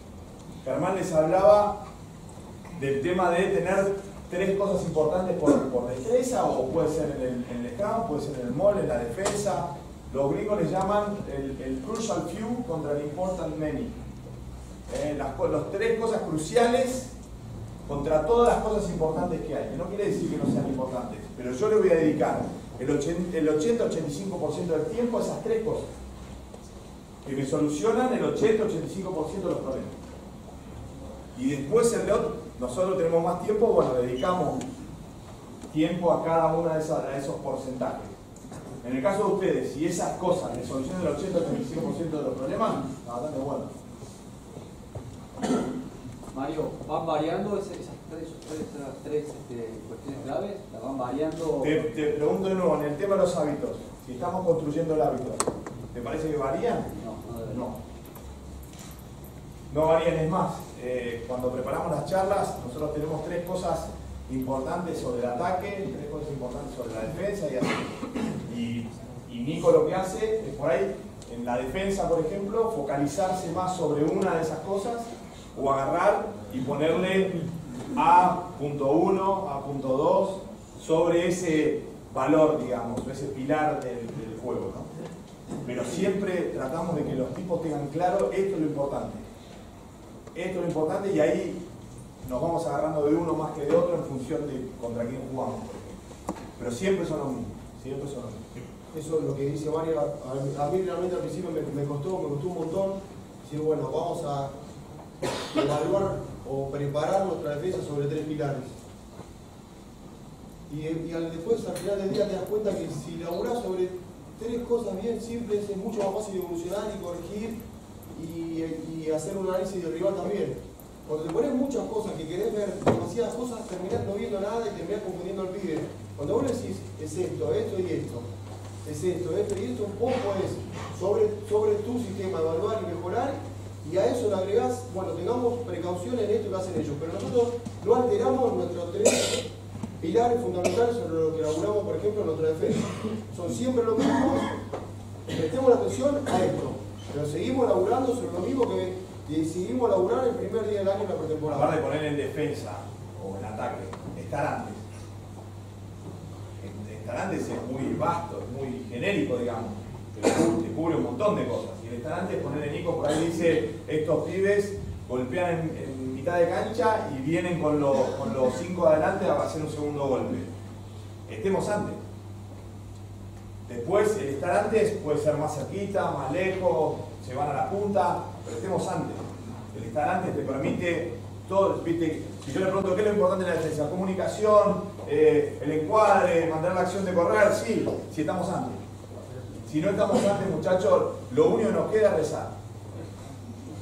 Es estar antes, estar antes, estar antes, estar antes. Yo estoy antes, comunico, yo estoy antes, impongo, yo estoy antes, mantengo la acción de correr, yo estoy antes, domino el contacto. Si yo no estoy antes, tengo que ser He-Man para, los que conocen lo que se juega en He-Man. Acá mucho más controlado. Sí, seguimos. Recuerden los ejemplos que decíamos de las correcciones.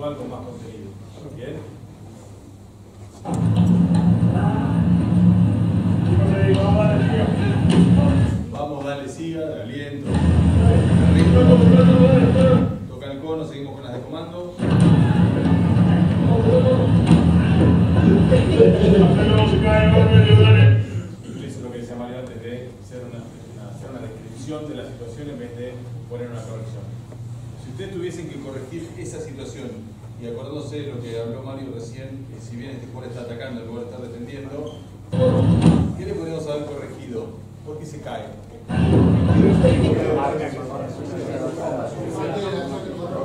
No mantiene la acción de correr porque paso largo, paso largo, paso largo, se queda lejos del. Este tipo de situaciones es lo que yo quería que comparemos un entrenador que por ahí tiene más ritmo de corrección y más frecuencia de corrección versus que no tuvo correcciones productivas en toda esa pasadita que fueron los Para que ustedes empiecen a ver con otros ojos y a ustedes mismos en realidad, porque rápidamente van a encontrar evolución si se corrigen sus correcciones.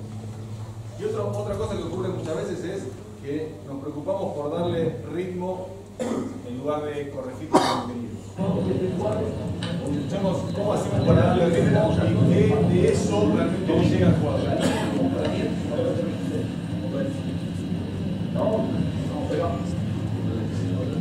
Tú, va, uy, va, va, va, va, va, va, el otro, apareció, dale, apareciendo, bien, bien, dale, apareció, dale, rápido, va, bien.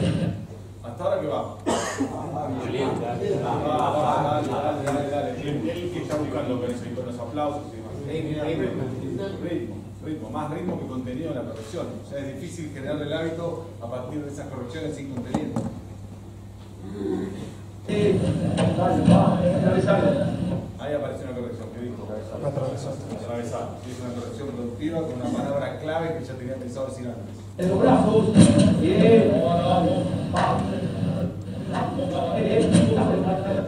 ¿Qué dice de los brazos? ¿Qué corrección? Escuchen de vuelta. dale, los brazos, bien, Y, y ahora que lo escuchan acá y que ven la imagen y todo, por ahí después de toda la explicación que le dieron Mario y Nico, le resulta que está mal, pero si ustedes, ustedes hubiesen visto este entrenamiento sin haber recibido estos conceptos, por ahí no les llama tanto la atención. Eso es lo que estamos buscando. Ustedes se den cuenta que cuando uno corrige a veces no está prestando tanta atención sobre qué quiere ir, no tiene bien claro esas tres cosas que dijo Nico, tres cosas solamente. Esas, palabras que yo sé que las voy a usar antes. Y ya las tengo que tener pensadas antes y las voy a repetir todo el tiempo. Entonces, de esa manera sé a qué le voy a, poner el foco. Entonces estamos viendo acá que a veces consumimos un montón de energía y palabras que no, no, no, no dan en el blanco. Yo considero que, que es productivo decir así, porque él explicó el ejercicio antes, lo que está haciendo recordar lo que tenés que hacer con los brazos. No sé, supongo que le explicó antes el ejercicio. Las tres cosas principales, los brazos dan cosas. Pero también vos suponés, también suponés que él lo sabe, suponés que él lo entendió y estás agregando. ¿Y cuánto, cuánta energía más te consume en lugar de decir? que me parece que lo conoce. Ella lo conoce, lo llamó antes de. Aprovecho dice Mario para aclarar que todos estos entrenadores es un momento que lo filmamos y además están, eh, están- son filmaciones anteriores, hay un montón de evolución sobre esto, ¿no? Tomen referencia al entrenador, estamos poniendo ejemplos simplemente. Pero lo que quiero es, no te consume mucho más diferencia, en, perdón, mucho más energía decir brazos en lugar de decir doble piña o algo que lo oriente exactamente al gesto que está buscando. Puede ser que lo que vos decís tenga razón que sea, sí, ya lo explicó mil veces, pero si lo explicó mil veces, ¿qué le cuesta? Con el mismo consumo de energía, hacer algo más dirigido y que tenga más impacto sobre la generación del hábito del juego. Sí, de cualquier cosa que perdona.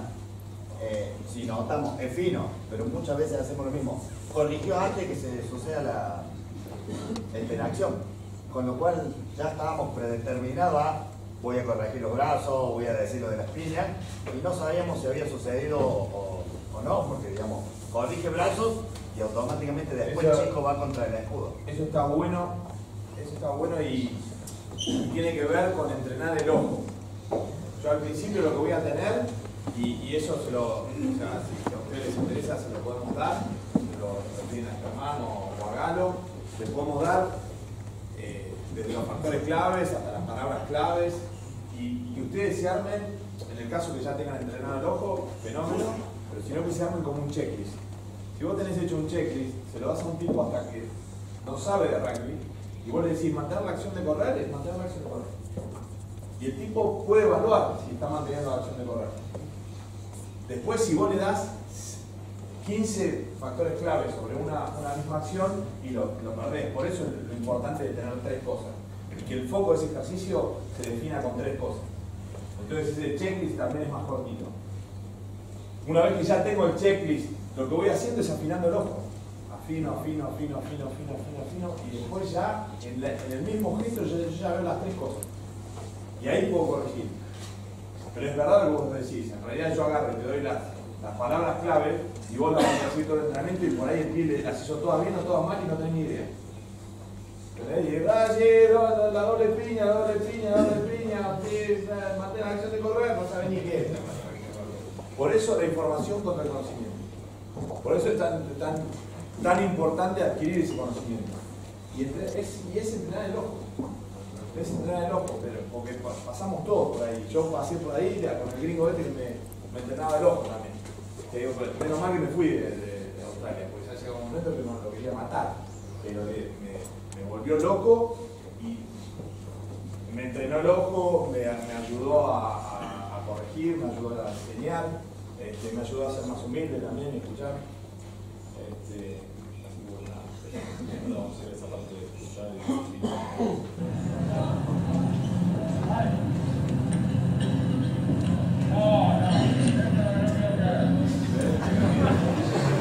Ahora, ahora le suena como algo extraño. Bueno, ¿cuánto nosotros empezamos por ver? No, no, eso es lo que no quiero. O sea, no le estamos dando ningún Me gusta haber metido el sándwich y decir Le podría haber dicho. Vamos a ver este ejemplo de Mario. Siempre mantiene adelante. Siempre mantiene adelante. Ese tono de la forma en la que Mario lo dice, ¿a qué le remite? ¿Que lo dijo muchas veces o pocas veces? Muchas veces. Claramente muchas veces. Ahora vas a ver una aplicación que te dice que acá hay una misma aplicación que mostraste acá recién. Vamos arriba todos hacia abajo. ¿Eh? Vos salís así, de donde sale para salir a girar. Ahora salís más hacia así. Lo ves enganchar ahí. No, ya te quedó afuera. Yo salgo hacia adelante, me quedo afuera y ya después no empiezo a correr más de costado. Sí, demostración, demostración que termina con el gesto bien realizado. No está mal que le mostremos lo que se hace mal, pero después marquémosle bien exactamente lo mismo que explicó acá. Cómo hacerlo mal, cómo ponerse de frente, caminando de costado y cómo atravesarlo yendo siempre hacia adelante. Claro, la. Y un punto importante, y acá es el tema de las variantes. Cualquier ejercicio. ¿Para qué creen que utilizó esa variante? Mario? en el mismo ejercicio que estaba hablando antes con Nico, le mete esta variante. ¿Qué es lo que está buscando? Mantener la acción de correr. ¿Y por qué, por qué se corre? ¿Qué, qué, qué estamos poniendo en evidencia del jugador que no se frena o da un paso largo o se tira desde lejos? Lo que dijo Nico antes, que como enseñábamos antes el tackle, tirarnos de lejos, si ahí no, Agustín cree que se tira de lejos, se cae al piso. Entonces, está bueno tener variantes para poder evidenciar algunas de esas, de esas cosas que yo quiero mostrar dentro de esta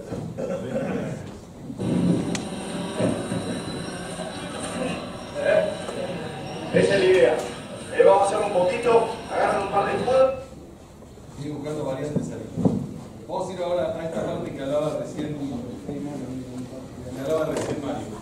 Eh, lo dijiste vos primero que todo con respecto al tiro.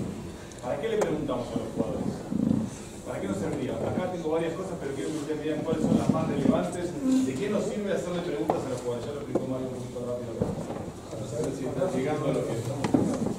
De- Dentro de esas que ven ahí, ¿cuál les parece la más importante o las más importantes? La primera y la última. Excelente. La primera y última. por acá. Hacerlos pensar es algo importante y finalmente controlar si he aprendido.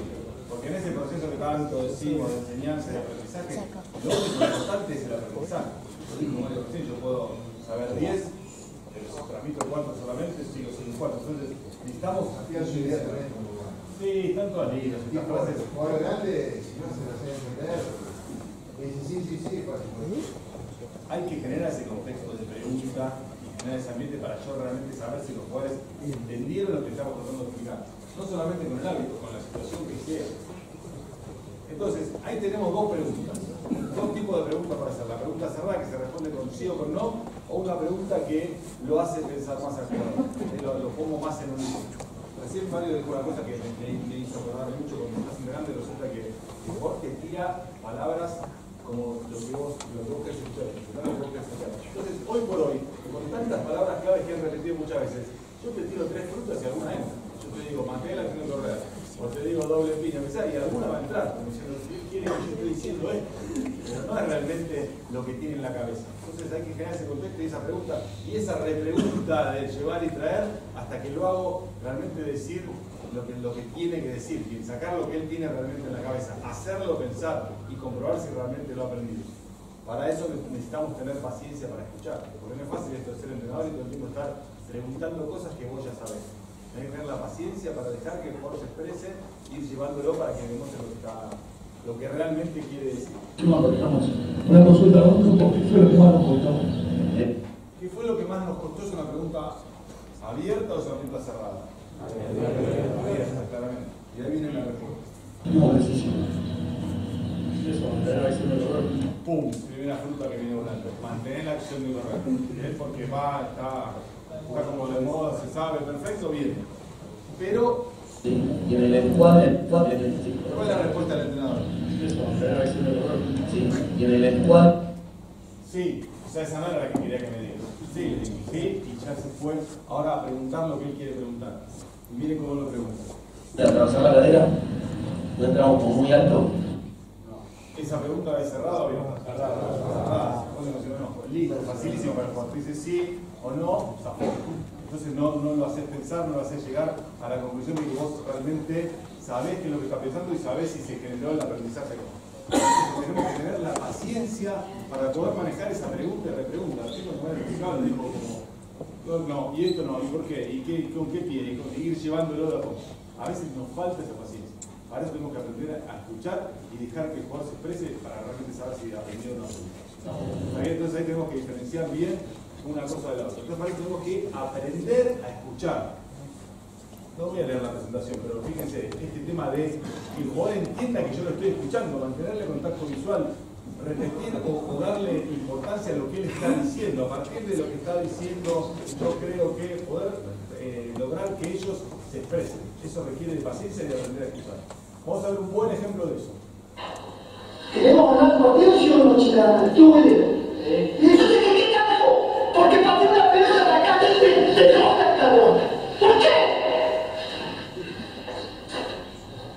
¿O no es tu compañero? ¿O no quieres hacer con él? Entonces, ¿Está escuchando? No está escuchando. Muchas veces nos pasa eso. Entonces nosotros creemos que estamos transmitiendo, pero en realidad nunca vamos a saber si estamos transmitiendo. Cuando el tipo tipo empieza a contestar, ¡pah! Lo corto y seco. Hay que acostumbrarse a poder recibir ese feedback a partir de preguntar bien, escuchar, llevar y traer y darle atención al jugador donde estamos preguntando. Quiero poner un ejemplo de ese tipo de preguntas durante el, el ejercicio. Miren bien desde el principio de esta acción.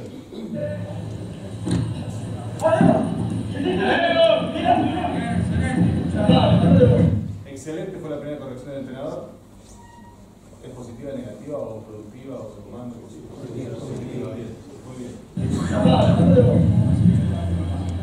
La siguiente, la, la de la pregunta, ¿cómo fue? ¿Cómo recibiste la pelota? Si acá se escucha mejor porque estamos en los. ¿Cómo recibiste la pelota? ¿Cómo había recibido la pelota la jugadora cuando recibió el primer gol? No la tapa. No la tapa, la embolsó. Entonces ahí está tratando de marcarle el error, que ella misma se dé cuenta del error. Entonces, también esto, esto que decía Mario de preguntar, puede ser durante la actividad, no falta frenar, que todos me miren y hacer la pregunta. Puede ser al final del entrenamiento una conclusión, una búsqueda de feedback genial. Pero durante el ejercicio sin frenarlo voy y voy tirando. Más si hay más de un entrenador que puede estar tomando esos roles y preguntando ahí. Eh, pero lo importante es que ellos contesten para poder comprobar que se generó el aprendizaje y también para, para ver si eso, hacer pensar a esos jugadores. Sí, hágame así, que tanto así yo me doy cuenta que va.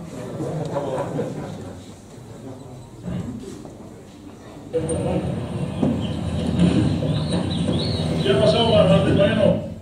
¿Qué pasó, Mariano? ¿Qué ha pasado, Mariano? Según el entrenador. Bien, ahí está por empezar a contestar el jugador de atención. Bueno, pierna, pierna, pierna. Bien. ¿Qué le faltó? Dejarlo hablar. Paciencia, lo que nos falta a todos todo el tiempo. Y esto, recién Mario dijo algo antes de, antes de empezar, que dijo de las correcciones. Que ahora ustedes están recibiendo toda esta idea de preguntar o de, de- de dar correcciones productivas con contenido y demás. Pero una cosa es que lo entendamos y otra cosa es que después a hacer. Es un hábito también. Y lleva un tiempo largo. Y una buena forma de hacerlo mejor es eh, corregirse entre ustedes mismos entrenadores. Somos tres entrenadores entrenando en equipo y yo te escucho a vos a ver cómo vos tenemos que tener la seguridad y la tranquilidad que te lo para hacerte mejor el entrenador y corregirse entre ustedes, porque uno no se da cuenta solo. Entonces, para cambiar ese hábito hay que ayudarse entre ustedes mismos. ¿Eh? ¿Les parece que es fácil, que es complicado? ¿Se escuchan ustedes entrenar o van para el frente y siguen directo todo el tiempo? Más o menos, ¿no? No es fácil, no es fácil. Y sobre todo, entrenadores, acá veo generación parecida a nosotros, yo soy más, viejo que de ustedes, pero también tengo algunos que están en mi categoría, hemos aprendido de una forma distinta a la que tenemos que enseñar hoy. Y eso cuesta cambiar ese hábito. Así decíamos, para los jugadores grandes es más difícil cambiarle, para los entrenadores grandes también. Entonces eso de escuchar al jugador para comprobar si ha aprendido y para hacerlo pensar, lleva un tiempo de aprendizaje. Pero es la forma en la que nosotros terminamos de confirmar si la información llegó. Lo que dice Mario, por de la percepción y la realidad también percibe de una manera hasta que el otro le dice, no, no, no me está haciendo como vos crees que yo. Hay cosas que así no te cuenta. Claro, usado y Hay entrenadores que le pasa eso. Exactamente. Nosotros creemos que ese entrenador mexicano en el tiempo ustedes creen que se, se quedó recontento con su chavo, se quedó tranquilo. Ojo, por ahí el tipo estaba buscando otro objetivo, ¿no? 5-1 ganado. Estaba buscando, estaba buscando otro objetivo.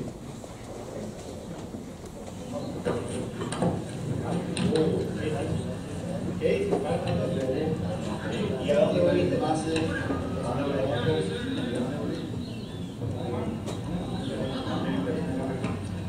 ¿Sí? Preguntando, preguntando y preguntando. También es muy importante cómo le hago la pregunta yo. Un jugador joven, juvenil, que comete un error, el entrenador ¿Y a dónde volviste más? Ven como el- se agarra el pelo, el jugador dice, a ver, ¿qué le está preguntando? ¿Qué? Yo creo que cuando, cuando nosotros no generamos el contexto ideal, el jugador termina diciendo lo que quiere, lo, lo que yo quiero escuchar, en lugar de decir realmente lo que tiene en la cabeza. Entonces tenemos que generar eso que lleva un tiempo, para que sepamos bien si ellos aprendieron lo que nosotros estamos proponiendo. ¿eh? No es fácil, no es fácil, hay que practicarlo. Y otra cosa que nos pasa en la falta de paciencia es que los queremos ayudar con la pregunta. ¿Listo? Vamos. Tres. ¿Eh? ¿Cuál fue el error? ¿Cuál fue el error? Sí, es una buena pregunta abierta para ver qué es lo que están viendo los jugadores. ¿Cuál fue la pregunta que hay? ¿Cuál fue la pregunta? O sea que cuando es...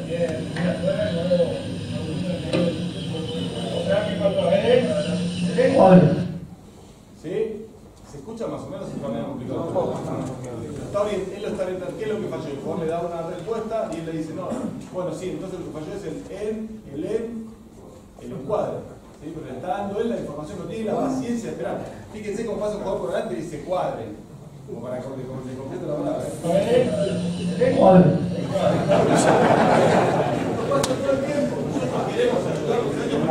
es que que veces es verbal, como en este caso. No se pasó con la posición corporal. Las piernas, pero una vez que mueve las piernas, privativo, yo estoy yendo. ¿Cómo tenemos que hacer? ¿Cómo estoy yendo? ¿Cómo estoy yendo? Ya te lo estoy diciendo. Estoy, solu- le estoy dando la respuesta al cuando nos propongamos esa búsqueda virtual, tenemos que tener paciencia para dejarlos expresarse y no ayudarlos con la respuesta.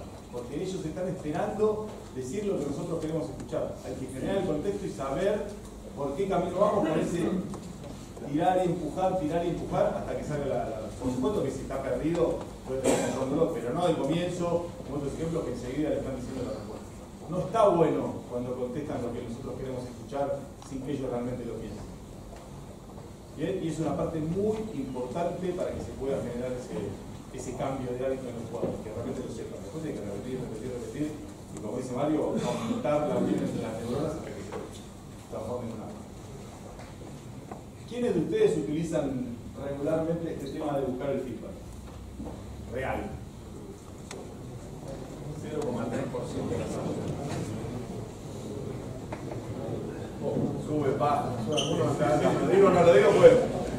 Me parece que hay miedo que le pregunten. Mira, Este la sube a media, porque si me preguntan, no, arriba, arriba, arriba. Bueno, pero es, es- es realmente un cambio que tenemos que generar. Poder confirmar que han aprendido. Sí, el tema es el tiempo que vos tenés en el entrenamiento. Por ahí el diálogo que generas se populariza y entonces termina hablando el hooker, el pilar, el segunda línea, el tercera línea. Eso vos tenés que hacer como de moderador de la charla.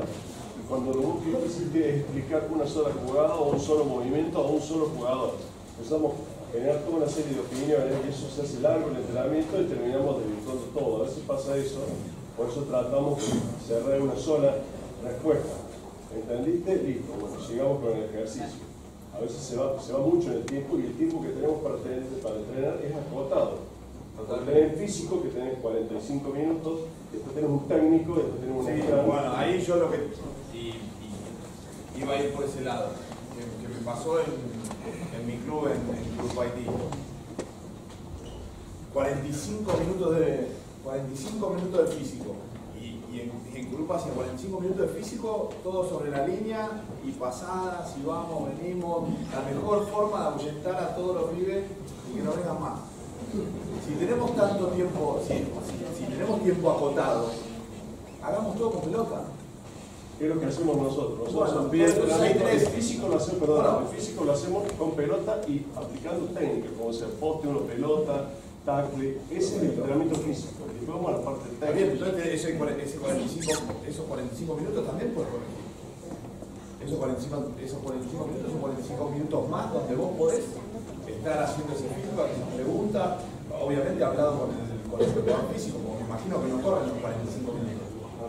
Deben ser pasadas de un minuto, un minuto y medio, ahí metes algo y después obviamente, y ese desafío que tienen ustedes, porque nosotros lo, lo tenemos mucho más tiempo, lo tenemos mucho, mucho más educados en la buena forma, o sea, los tipos empiezan a leer como uno lee y entonces ese diálogo se da más fácil. Yo te diría que en el caso de ustedes tienen que elegir a quién le preguntan. Bueno, puedes preguntar a todos. Y aparte, no sé, vos por ahí entrás con uno más, o con dos más, no sé, no tengo ni idea. Nosotros somos cuatro o cinco pibes dando vuelta y mientras Nico está haciendo la defensa, yo paso por atrás, lo agarro y le digo mantén la acción de correr y el negro Gaitán está haciendo lo mismo. O sea, somos varios tipos que estamos dando vueltas y vamos agarrando, mientras el otro labura, vamos agarrando así de costado a los tipos, pum, pum, pum, pum, pum. En el caso tuyo, yo, o sea, vos lo tenés que en ese entrenamiento, no sé, preguntarle a tres tipos. Este, y en otro entrenamiento a otros tres. Y si querés tener una respuesta bastante piola, vos sabés a quién preguntarle o no preguntarle. Eh, No voy a decir a quién le pregunto yo no le pregunto yo, tenemos un par que no le pregunto. Este, sí. Alguien que me pregunta con el tema del feedback, ahí tengo el ejercicio interior que te da continuidad de decir dale, dale, a buscar ritmo. Capaz ¿Cuál es el foco del entrenamiento? Ahí estaba buscando el, que te da ritmo mediante el encuadre. Pero acá capaz que después cuando terminó el entrenamiento hizo la pregunta general o eso, nosotros buscamos. Vamos corrigiendo en el transcurso con palabras claves. Pero Ahí no, ¿te estaba usando para las claves o estaba usando? no, no, no, no. Pero a lo que voy, hay muchas veces que quedas callado para hacer la consulta y el feedback. No, pero vos dijiste, no, no dijiste quedarte callado. Vos dijiste que el, el tipo estaba diciendo dale, va, va, va, para dar Como para dar el ritmo nomás. Bueno, ¿pero está callado o no está callado? Bueno, entonces tenemos la elección de hacer una corrección u otra, podemos usarlo de la misma manera. ¿Cuál es el foco del ejercicio? ¿El ejercicio, el foco del ejercicio es darle ritmo? Si el foco del ejercicio es la urgencia y darle ritmo, por ahí está bien. Está bien, pero yo- a lo que voy es si a lo mejor un feedback general a todos para ver si ellos pudieron darse cuenta mediante el ritmo, Está bien, para pero el oxígeno. son dos cosas diferentes. O sea, vos me estás hablando de un feedback al final y vos me decías hacer silencio. Pero también me dijiste, estaba diciendo vamos, va, va, va. Entonces, ¿vos qué, qué es lo que querés? No, yo te pregunto básicamente qué para vos es mejor o más correcto, si es constante charla o tener esa opción de quedarte callado y ver si ellos pueden darse cuenta de su ¿Qué, error. qué dijimos? ¿En qué momento es el, el feedback instantáneo importante?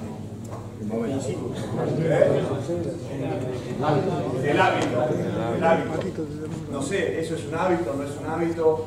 Por ahí es un hábito, por ahí no. No creo que sea un hábito. Yo creo que lo que estaba buscando el tipo es urgencia, por eso estaba dando esa indicación. Pero ¿qué podemos decir para que el tipo llegue antes?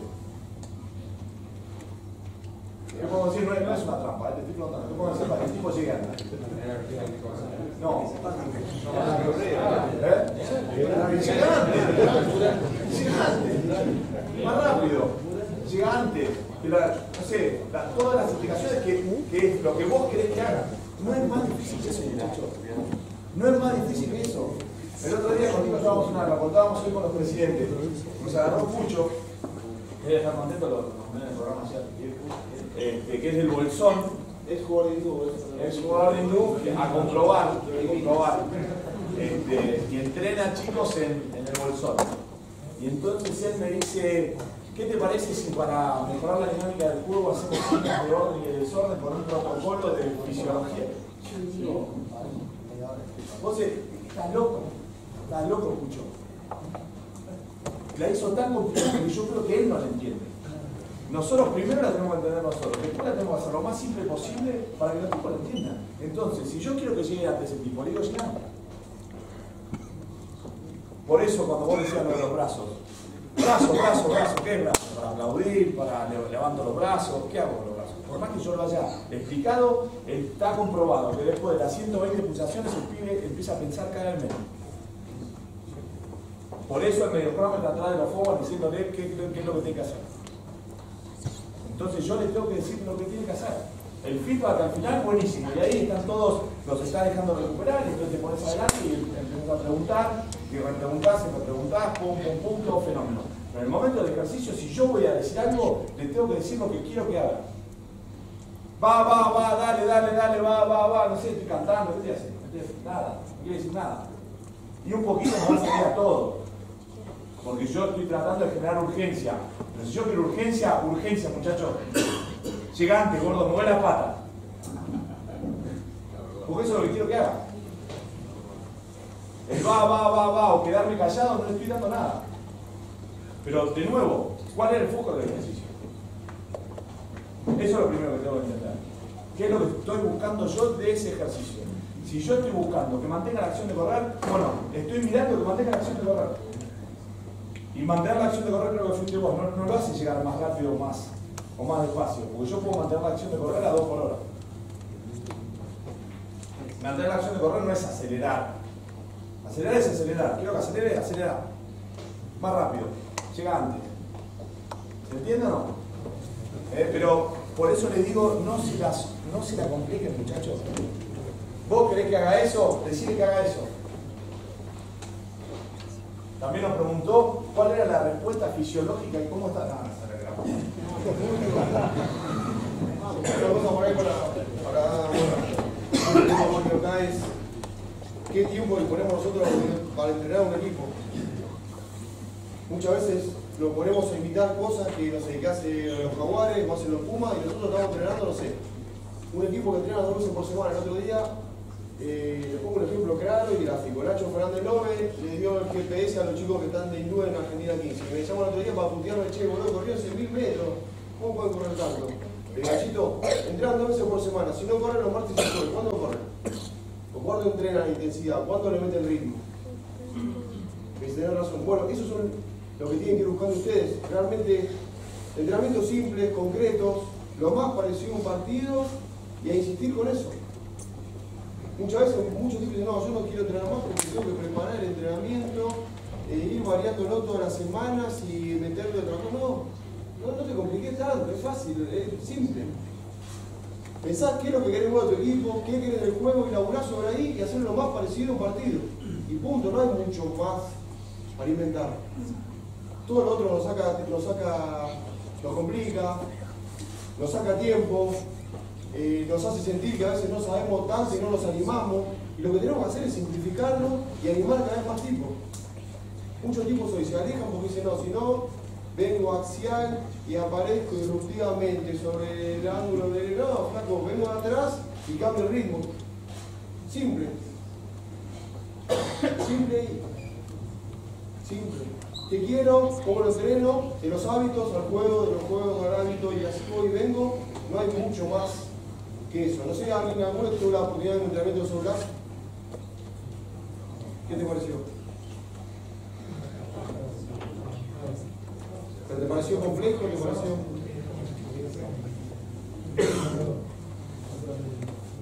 ¿Te parece que, te están jodiendo? Que te flaco no, sábado van a hacer cosas que no hicieron hoy y te están escondiendo, no te están escondiendo nada. Es como los tipos que entrenan. Termina el entrenamiento uno contra uno, el con el crowd le tira, buquea, segunda línea, pum, el salto, medio crowd hace 50 pases para cada lado, simple. Nosotros vamos, le decimos que nos bueno, poner una pata por adelante, otra por atrás, sacar acá abajo, 700 mil quilombos que el flaco no entiende nada, entrena como el culo, en vez de cegar. ¿Alguna vez vieron un, un videojuego en el partido la tirada los pases para abajo? Y nos pasa, nos pasa, lo, lo, lo complicamos, el flaco no llegar, aproximación de la pierna, sacar un tiempo, cosas que escuchamos hace 30 años y es lo mismo hoy. Obviamente, de ayornar, de tratar de ayudar, corregir la técnica, pero simple. Lo te pasa cuando viene una te comiendo algo, te digo, puta, comiendo todo el tiempo, lo digo ya tarde. Toda la charla digo lo mismo, pero es así. Y nosotros somos tan boludos que creemos en serio que no te ofensa. Es más, ellos siempre arrancan a 2 por hora y yo tengo bastante grabado de, de- de entrenamiento de ellos donde de repente lo hacen ese 2 por hora, lo hacen 10 minutos seguidos. Y llegan acá y terminan y vuelven, ¿viste? Así, nosotros lo hacemos en los turnos, en el juicio. Gordo, patorrante, tomátela. Estos pibes, son los mejores del mundo, lo hacen media hora si lo que hacer media hora. Porque el tipo está convencido que va, que va a mejorar. Pero lo que dice Nico es tal cual. Eh, y cuando yo voy a, voy a organizar un, un ejercicio, como dice Nico, nada, ¿qué, ¿qué es lo que estoy buscando en ejercicio? Pero tiene que ser lo más parecido al, partido posible. Durante mucho tiempo se hicieron, le llamaban los drills, ejercicios, de qué. Entonces ibas a, yo iba a mi club y ya, ya me voy a meter en quilombo de nuevo con mi club porque después me firman los ojos y dicen que hablo mal del club. Pero vas y hay 15, 15 estaciones de cosas diferentes. Imagínate el tipo cómo se rompió la cabeza para hacer las 15 estaciones. Yo, o sea, no me salen 15 estaciones ni un pedo. Y ninguna es parecida al partido. Ninguna. No, todo lo que hagamos sea para, porque aparte es más divertido, muchachos. No es más divertido que en vez de ponerse en una, en una, una línea y correr y hacer 10 pasadas, hacerlos correr un kilómetro de alta intensidad jugando. ¿Y no es lo mismo? ¿Y no es lo que va a hacer en la, en la cancha? ¿Para qué quiero que me baje el tiempo? Uy, qué bueno, está haciendo la pasada, medio segundo menos, pero después no tanquea a nadie. Entonces, todo lo que hagamos parecido al partido. Todo lo que hagamos parecido al partido. ¿No es mucho más simple pensarlo así? Cuando voy a armar el entrenamiento. Mucho más simple. yo puedo hacer una pregunta eh, por ahí. Siguiente, yo. Sí, no, eh, yo, yo empecé este año a entrenar niños y yo qué veo, nosotros estamos permanentemente haciendo ese tipo de entrenamiento en la cancha y yo veo que los ponemos en la cancha y están perdidos y por ahí, ¿qué decís vos de meterlos todo el tiempo a esa posición de cancha, posición de cancha, todo el tiempo? Yo te digo, cuando no tengo ni idea, o sea, no, es que he estudiado pedagógicamente cómo se entrenan los chicos, pero tuve la suerte de que en, Australia un, un kiwi muy piola mi hijo. Lo primero que hacía el tipo, mientras iban llegando todos, los primeros 20 minutos, media hora, tocata. Tocata, tocata, tocata, tocata. Entonces yo voy y le digo, che, bueno, esto lo haces para qué, el tema, los espacios, que si yo no, los quiero cansar. Le dice, los quiero cansar porque si no, no me la atención. Y cuando les voy a decir que vamos a hacer ola de paz y todos corriendo derechito, qué sé yo, nada, me, rompen las pelotas los. Entonces los flacos, pum, pum, pum. Y mientras tanto, sí, los flacos, no sé lo que jugaban a tocar. Los chiquitos de 11 años, pum, pum. Encima ellos juegan en cancha grande. Nosotros acá a los 11 años jugamos en 25 por 25. Estos pibes cancha grande. Mi hijo casi agarra un paro cardíaco el primer partido.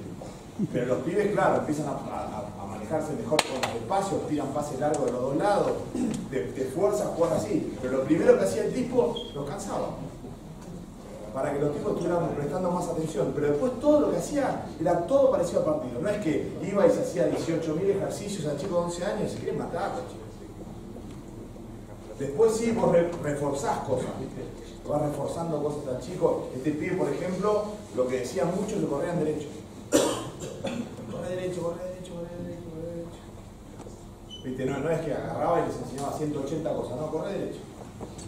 Y el solo espacio donde jugaban, ¿viste?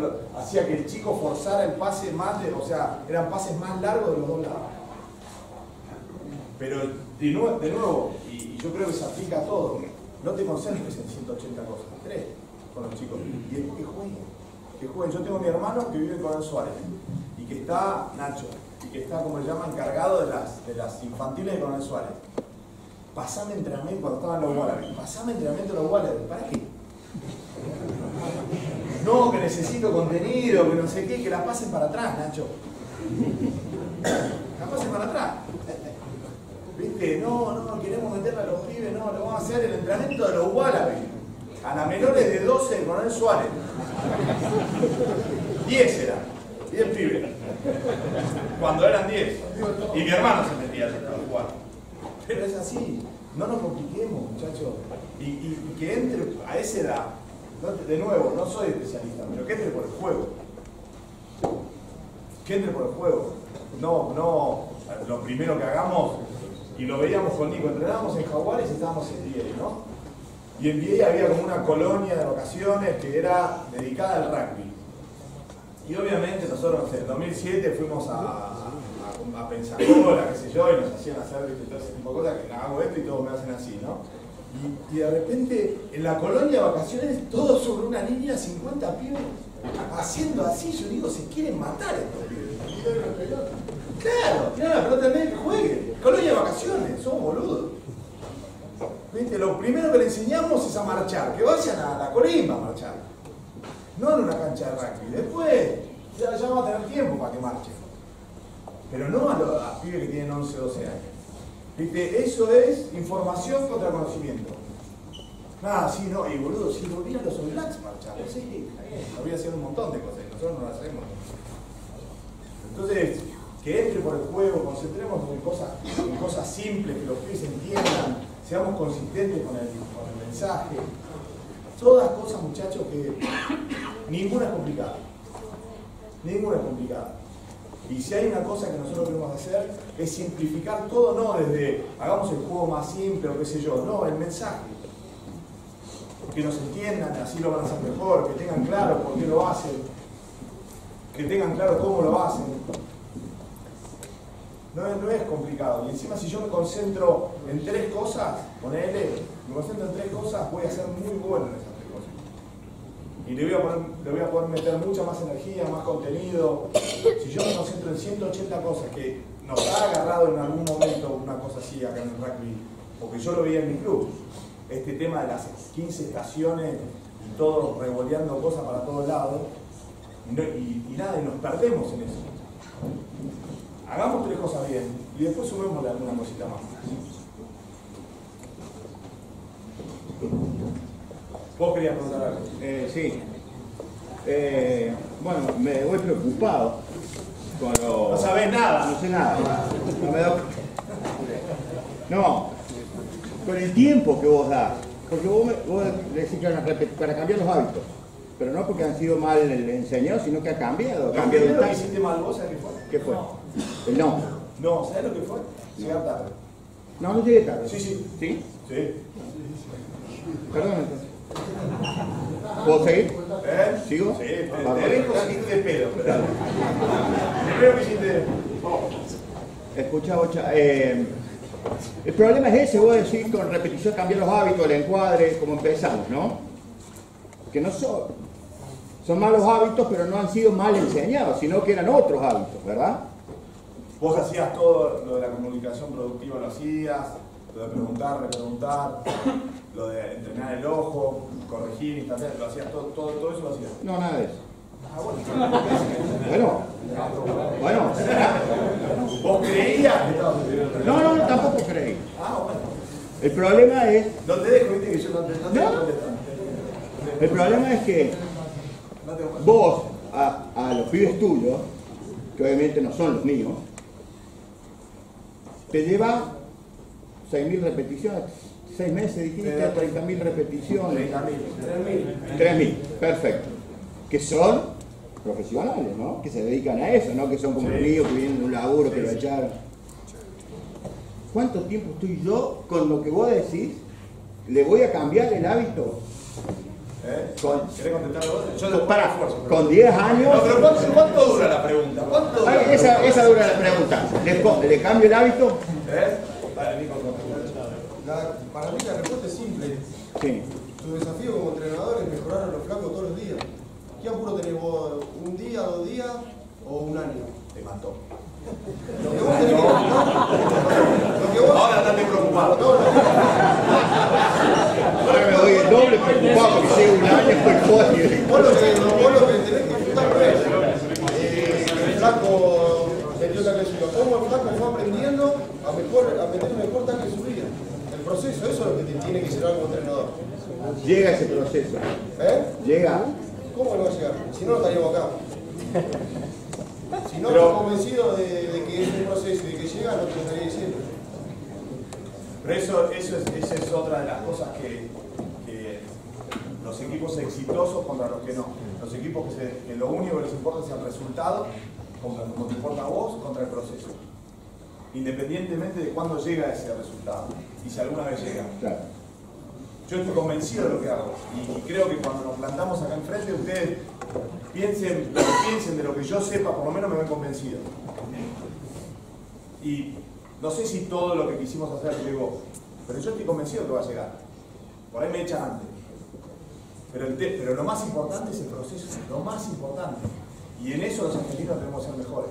Nosotros es todo imparcial, creatividad, ¿viste? No, nos adaptamos. Y no, si sale mal, viste, fi, llego tarde, viste, nada, quilombo. No, muchachos. Eh, es, es- es San Paoli yendo al, al mundial diciendo "No, la planificación no existe. Callate, boludo. Te están- te están escuchando millones de personas, millones de argentinos, no puedes decir eso. Nos tenemos que acostumbrar que los procesos existen, que hay que respetarlos, que hay que creer en los procesos, por eso llaman procesos, si no se llamarían resultados. Y que después lo otro viene como consecuencia. Pero lo que te dice Nico, ¿a alguno le cabe alguna duda de que en los clubes lo que tenemos que formar son personas y que los pibes se diviertan y que los tenemos que hacer mejorar tanto como personas como jugadores todos los días? ¿Qué te calienta si llegan a, a las 30.000 repeticiones o no llegan nunca? Y yo te digo, cuanto antes los agarres no, no son 3.000, son muchas menos. Porque la parte que no conté de Coronel Suárez es que los de Coronel Suárez, los infantiles mantienen acción de correr, guarda. ¿Eh? Es, así es. ¿Eh? Los agarrás de chiquitos y aparte yo te aseguro que vos podés hacer las mismas repeticiones que hacemos nosotros. Nosotros hacemos martes y jueves. Y hacemos dos minutos por, por destreza. Si vos no lo podés hacer, si no tenés seis minutos en tu entrenamiento, que debe ser espectacular, seis minutos. Tenés la misma cantidad que tengo yo con jabones o. La misma. Seis minutos todos tenemos, muchachos. Todos. No me digan que, que no tenemos porque estamos todos locos. Le sacamos 45, 6 minutos a los 45 minutos de físico. No, no, ¿Eh? Uh, ese proceso, Se van, se aburrieron chicos. Se aburrieron, se van. No. Ah, está. Tenemos una base que son los infantiles, tenemos la primera, que sería la punta de la pirámide de nosotros. ¿verdad? En ese proceso que vos estás proponiendo, que me parece que estamos de acuerdo, que tiene que ser así, porque tenemos que trabajar de permitir, aunque sea tres cosas, y si vos le llegaste a un jugador con algo, ya lo tuyo realmente es un victorio, ¿sí? y yo me voy de un entrenamiento, si uno de los jugadores entendió algo, yo me voy ya con la tarea cumplida. Si logré hacer una buena persona, después de todo el año, ya lo mío es, es maravilloso. Ahora bien, ese proceso, ¿cuánto tiempo lleva a esta persona con este grupo de jugadores? ¿Por qué? Porque en infantiles te van, van subiendo, ¿sí? Ahora, cuando vos llegas a un plantel superior, tenés el jugador de 30, el de 35, el de 18. Este staff, nosotros hicimos una idea y hicimos un staff. Arrancamos allá por diciembre, hicimos una post, una pre y la temporada ahora. Toda una organización con un grupo chico, para un plantel de cierta cantidad de gente. La pregunta es, para hacerte la corta, antes que me grites, son, es ¿cuánto tiempo es el proceso de estos entrenadores y de este staff con este plantel acostado? ¿Se entiende?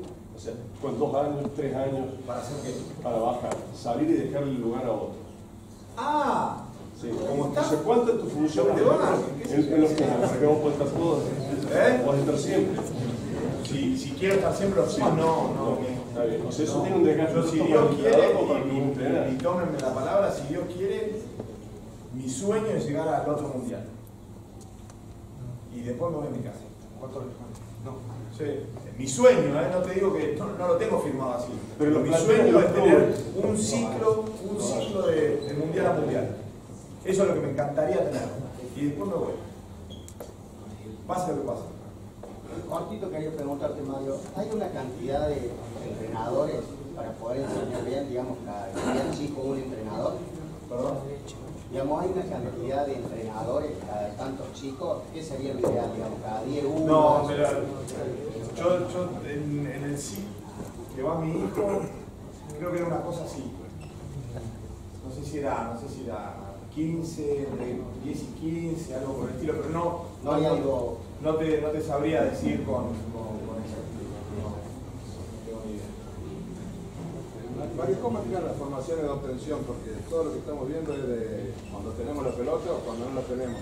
¿Qué tiempo le dedican a la empresa del Scrum o del Line? Mirá, eh, nosotros el, la organización del entrenamiento, hagamos lo que hagamos, es siempre parecida, siempre empezamos con hábitos. Entonces cuando empezamos eh, line, por ejemplo, tenemos a los hookers tirando la pelota, los saltadores saltando solos, los levantadores tirando una medicine, después empiezan a levantar eh, un levantador a un saltador y le empieza a tirar el hooker y después pla- plataformas, lo vamos armando así. En el Scrum lo mismo, uno contra uno, al principio en el piso, tabulando los binds y después entrando y después uno contra uno arriba y después tres contra tres y lo vamos armando así. El proceso es siempre el mismo. Y si yo tengo, tengo cinco minutos para hacer line, por lo menos le dedico un minuto al, al- al- a los hábitos. Porque si yo pretendo que los pibes salen, no sé, salen a hacer scrum, y lo primero que le digo, bueno, listo, dale, arrancamos el line y bueno, pierdo, pierdo los cinco minutos que iba a usar, los pierdo porque el tipo está frío, porque no, no tiró ninguna pelota, porque el otro no levantó, porque el otro no saltó. Entonces siempre que arrancamos, metemos, metemos hábitos. Y después, ¿cuánto tiempo?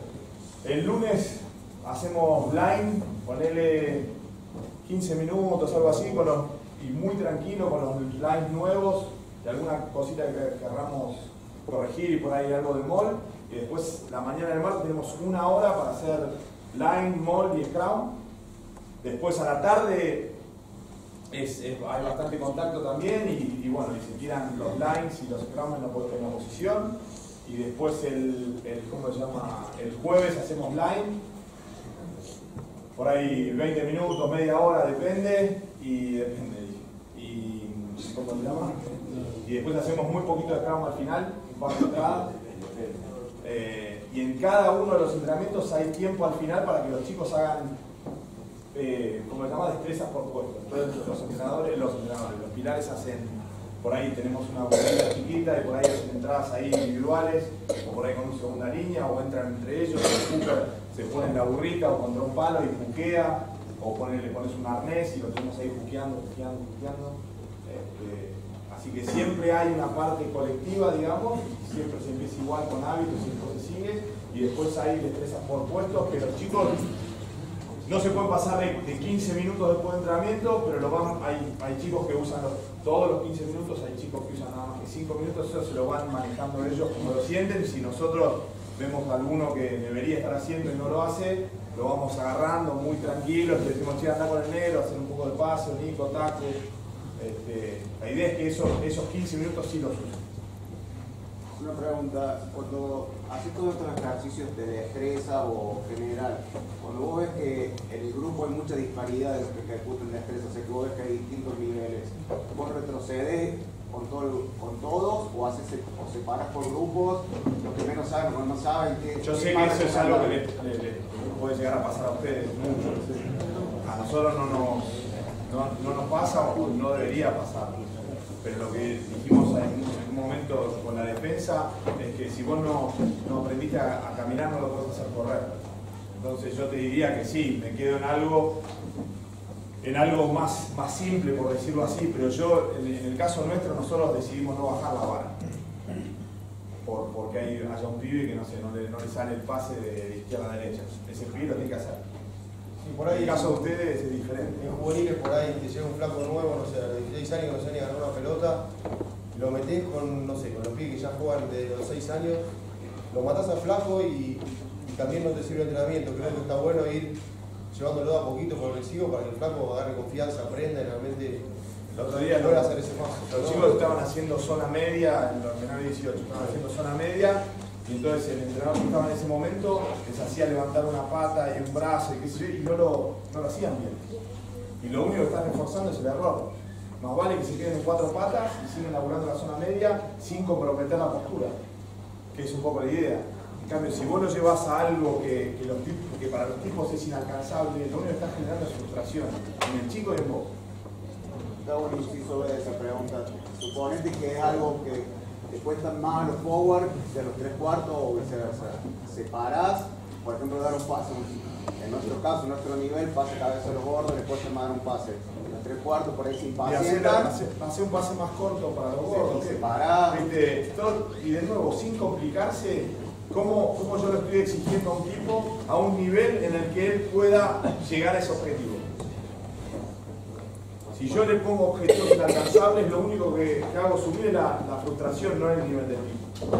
Porque nunca va a llegar ahí. Yo siempre se lo tengo que poner en, un lugar donde el tipo en algún momento llegue, si no es... ¿Se entiende? En, en situación de partido, en el entretiempo, ¿cómo manejan los errores? ¿Vas, vas directamente al error? Eh. Depende. Son 10 minutos, 15.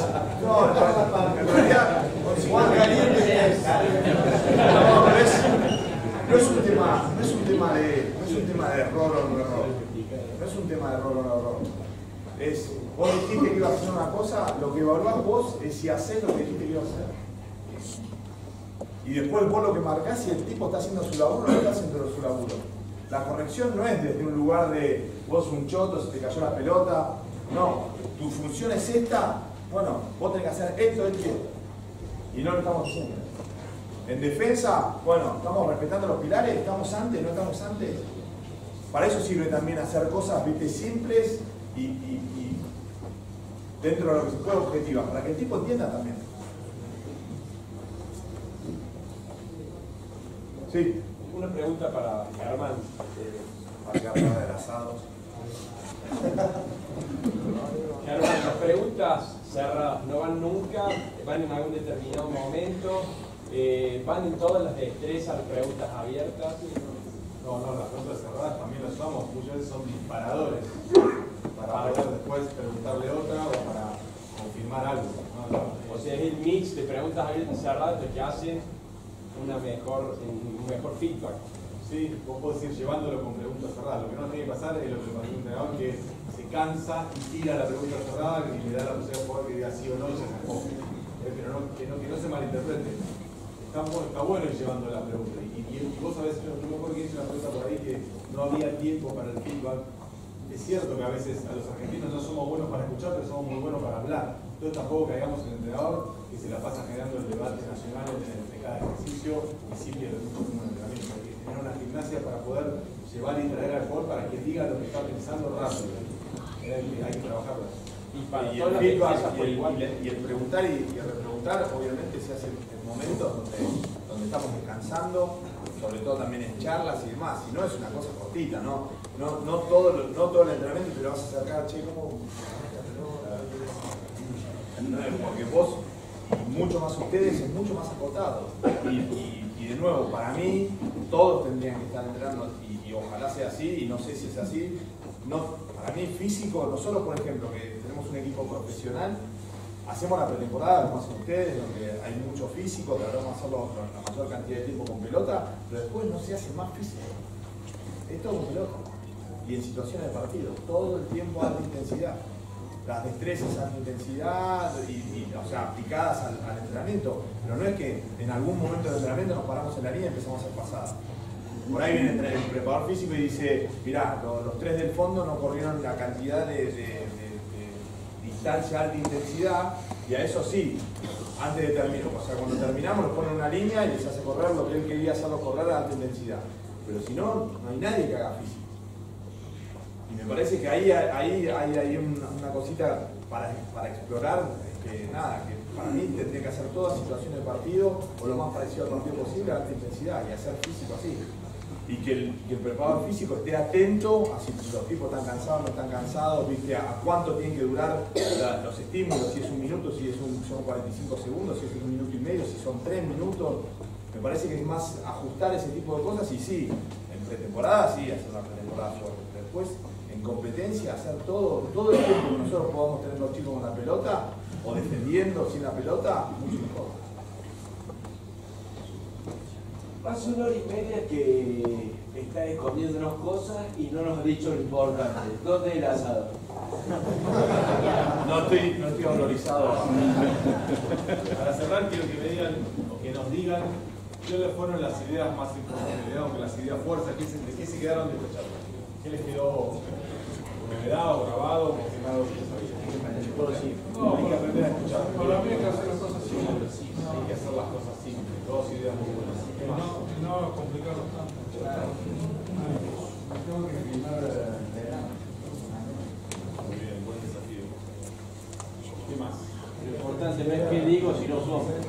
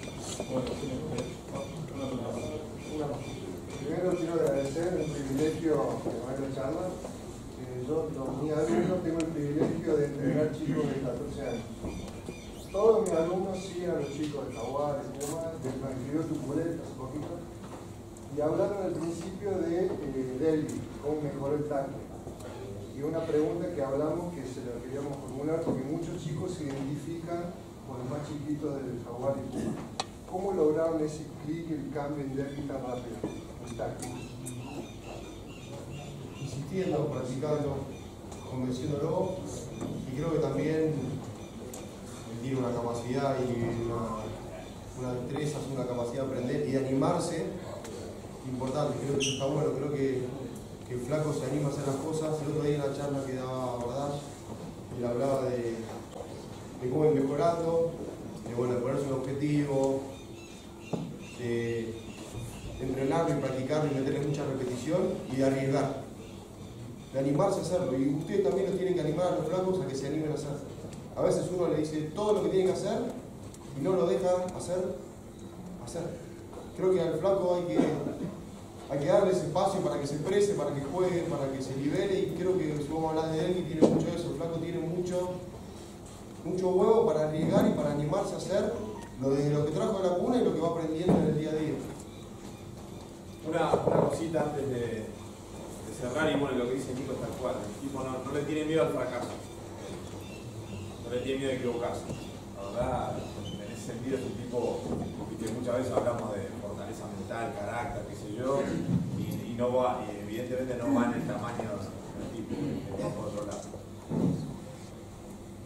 Obviamente, nada, les- les pasamos mucha información, o por lo menos información que, nosotros creemos que les puede ayudar.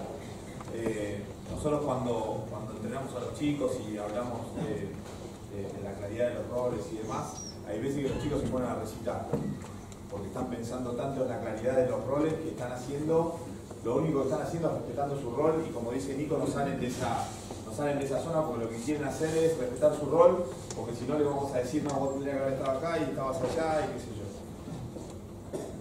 Lo que dijo Nico a lo último me parece muy importante. Este, sean ustedes, sean auténticos, me parece que es lo más importante. Eh, no, no quieran ser otro, otro pibe o entrenar con otro tipo, o tener la impronta de, otro tipo. Sean ustedes, sean auténticos, estén comprometidos, que, que lo dijo Nico hace un rato. Eh, ustedes también arriesguen, ustedes también anímense y, no estén, cada vez que vayan a entrenar, no estén pensando todo el tiempo en todo este tipo de cosas que le dijimos, pues se van a poner a recitar ustedes también. Eh, sientan, váyanse, ayúdense entre ustedes, está, todo bien, pero no pasen de entrenar como entrenaban a ser un pibe que se hizo un checklist de no, tengo que hacer esto, tengo que hacer esto, tengo que hacer esto, tengo que hacer esto. Eh, siéntanlo, este, disfrútenlo, de esa manera, de esa manera contagian, contagian un montón a los chicos, que es lo que es importante. Y después, si al, alguito de esto lo, puede servir, para mí la, la, la clave de todo, donde se apoya todo, es uno, en la, ¿cómo se llama? En la claridad y decirle al chico lo que ustedes quieren que haga. Entrenen diciéndole qué es lo que ustedes quieren que haga, no lo que no quieren que haga. Todo el tiempo, todo el tiempo. Y después se van, va, se van a ir dando cuenta cuando pueden hacer un poquito más de feedback o de preguntas o qué sé yo, pero no se vuelvan locos. No. Y nosotros de nuevo no, no, no, no detenemos la verdad absoluta sobre cómo, cómo se tiene que entrenar. Esta es la forma en la que vemos nosotros y creo que hay cosas que ustedes se pueden llevar. Vos decías, si el chico, si uno de los chicos, bueno, si ustedes se pueden llevar cada uno una cosa, estamos, estamos bien. Estamos bien, pero no, no, no pasen de un, de un lado al otro este, y hagan, y fundamentalmente hagan lo que ustedes cree- crean que está bien. Eh, creo que cerramos. Bueno, eh, antes de nos zafamos con algo que no salimos los videos, así que seguramente como sale el miércoles estaremos nosotros en los videos. Eh, aprovecho esto para reiterar la invitación. Quienes pueden la mañana, el cadar está a disposición y quienes no pueden a la, a la mañana, venir la tarde al centro de formación. Todas estas cosas nosotros las estamos tratando de trabajar. Esta capacitación va a estar a disposición después en la reunión, como hemos hecho siempre, se la tiene Virginia, así la tiene a disposición. Bueno, les agradezco, agradecemos chicos por la presencia, gracias a todos ustedes, realmente que el marco público es impresionante. Y como siempre, es un momento de aprendizaje y es todo bastante bueno. ¿eh? Nos ayuda a actualizar un poquito y a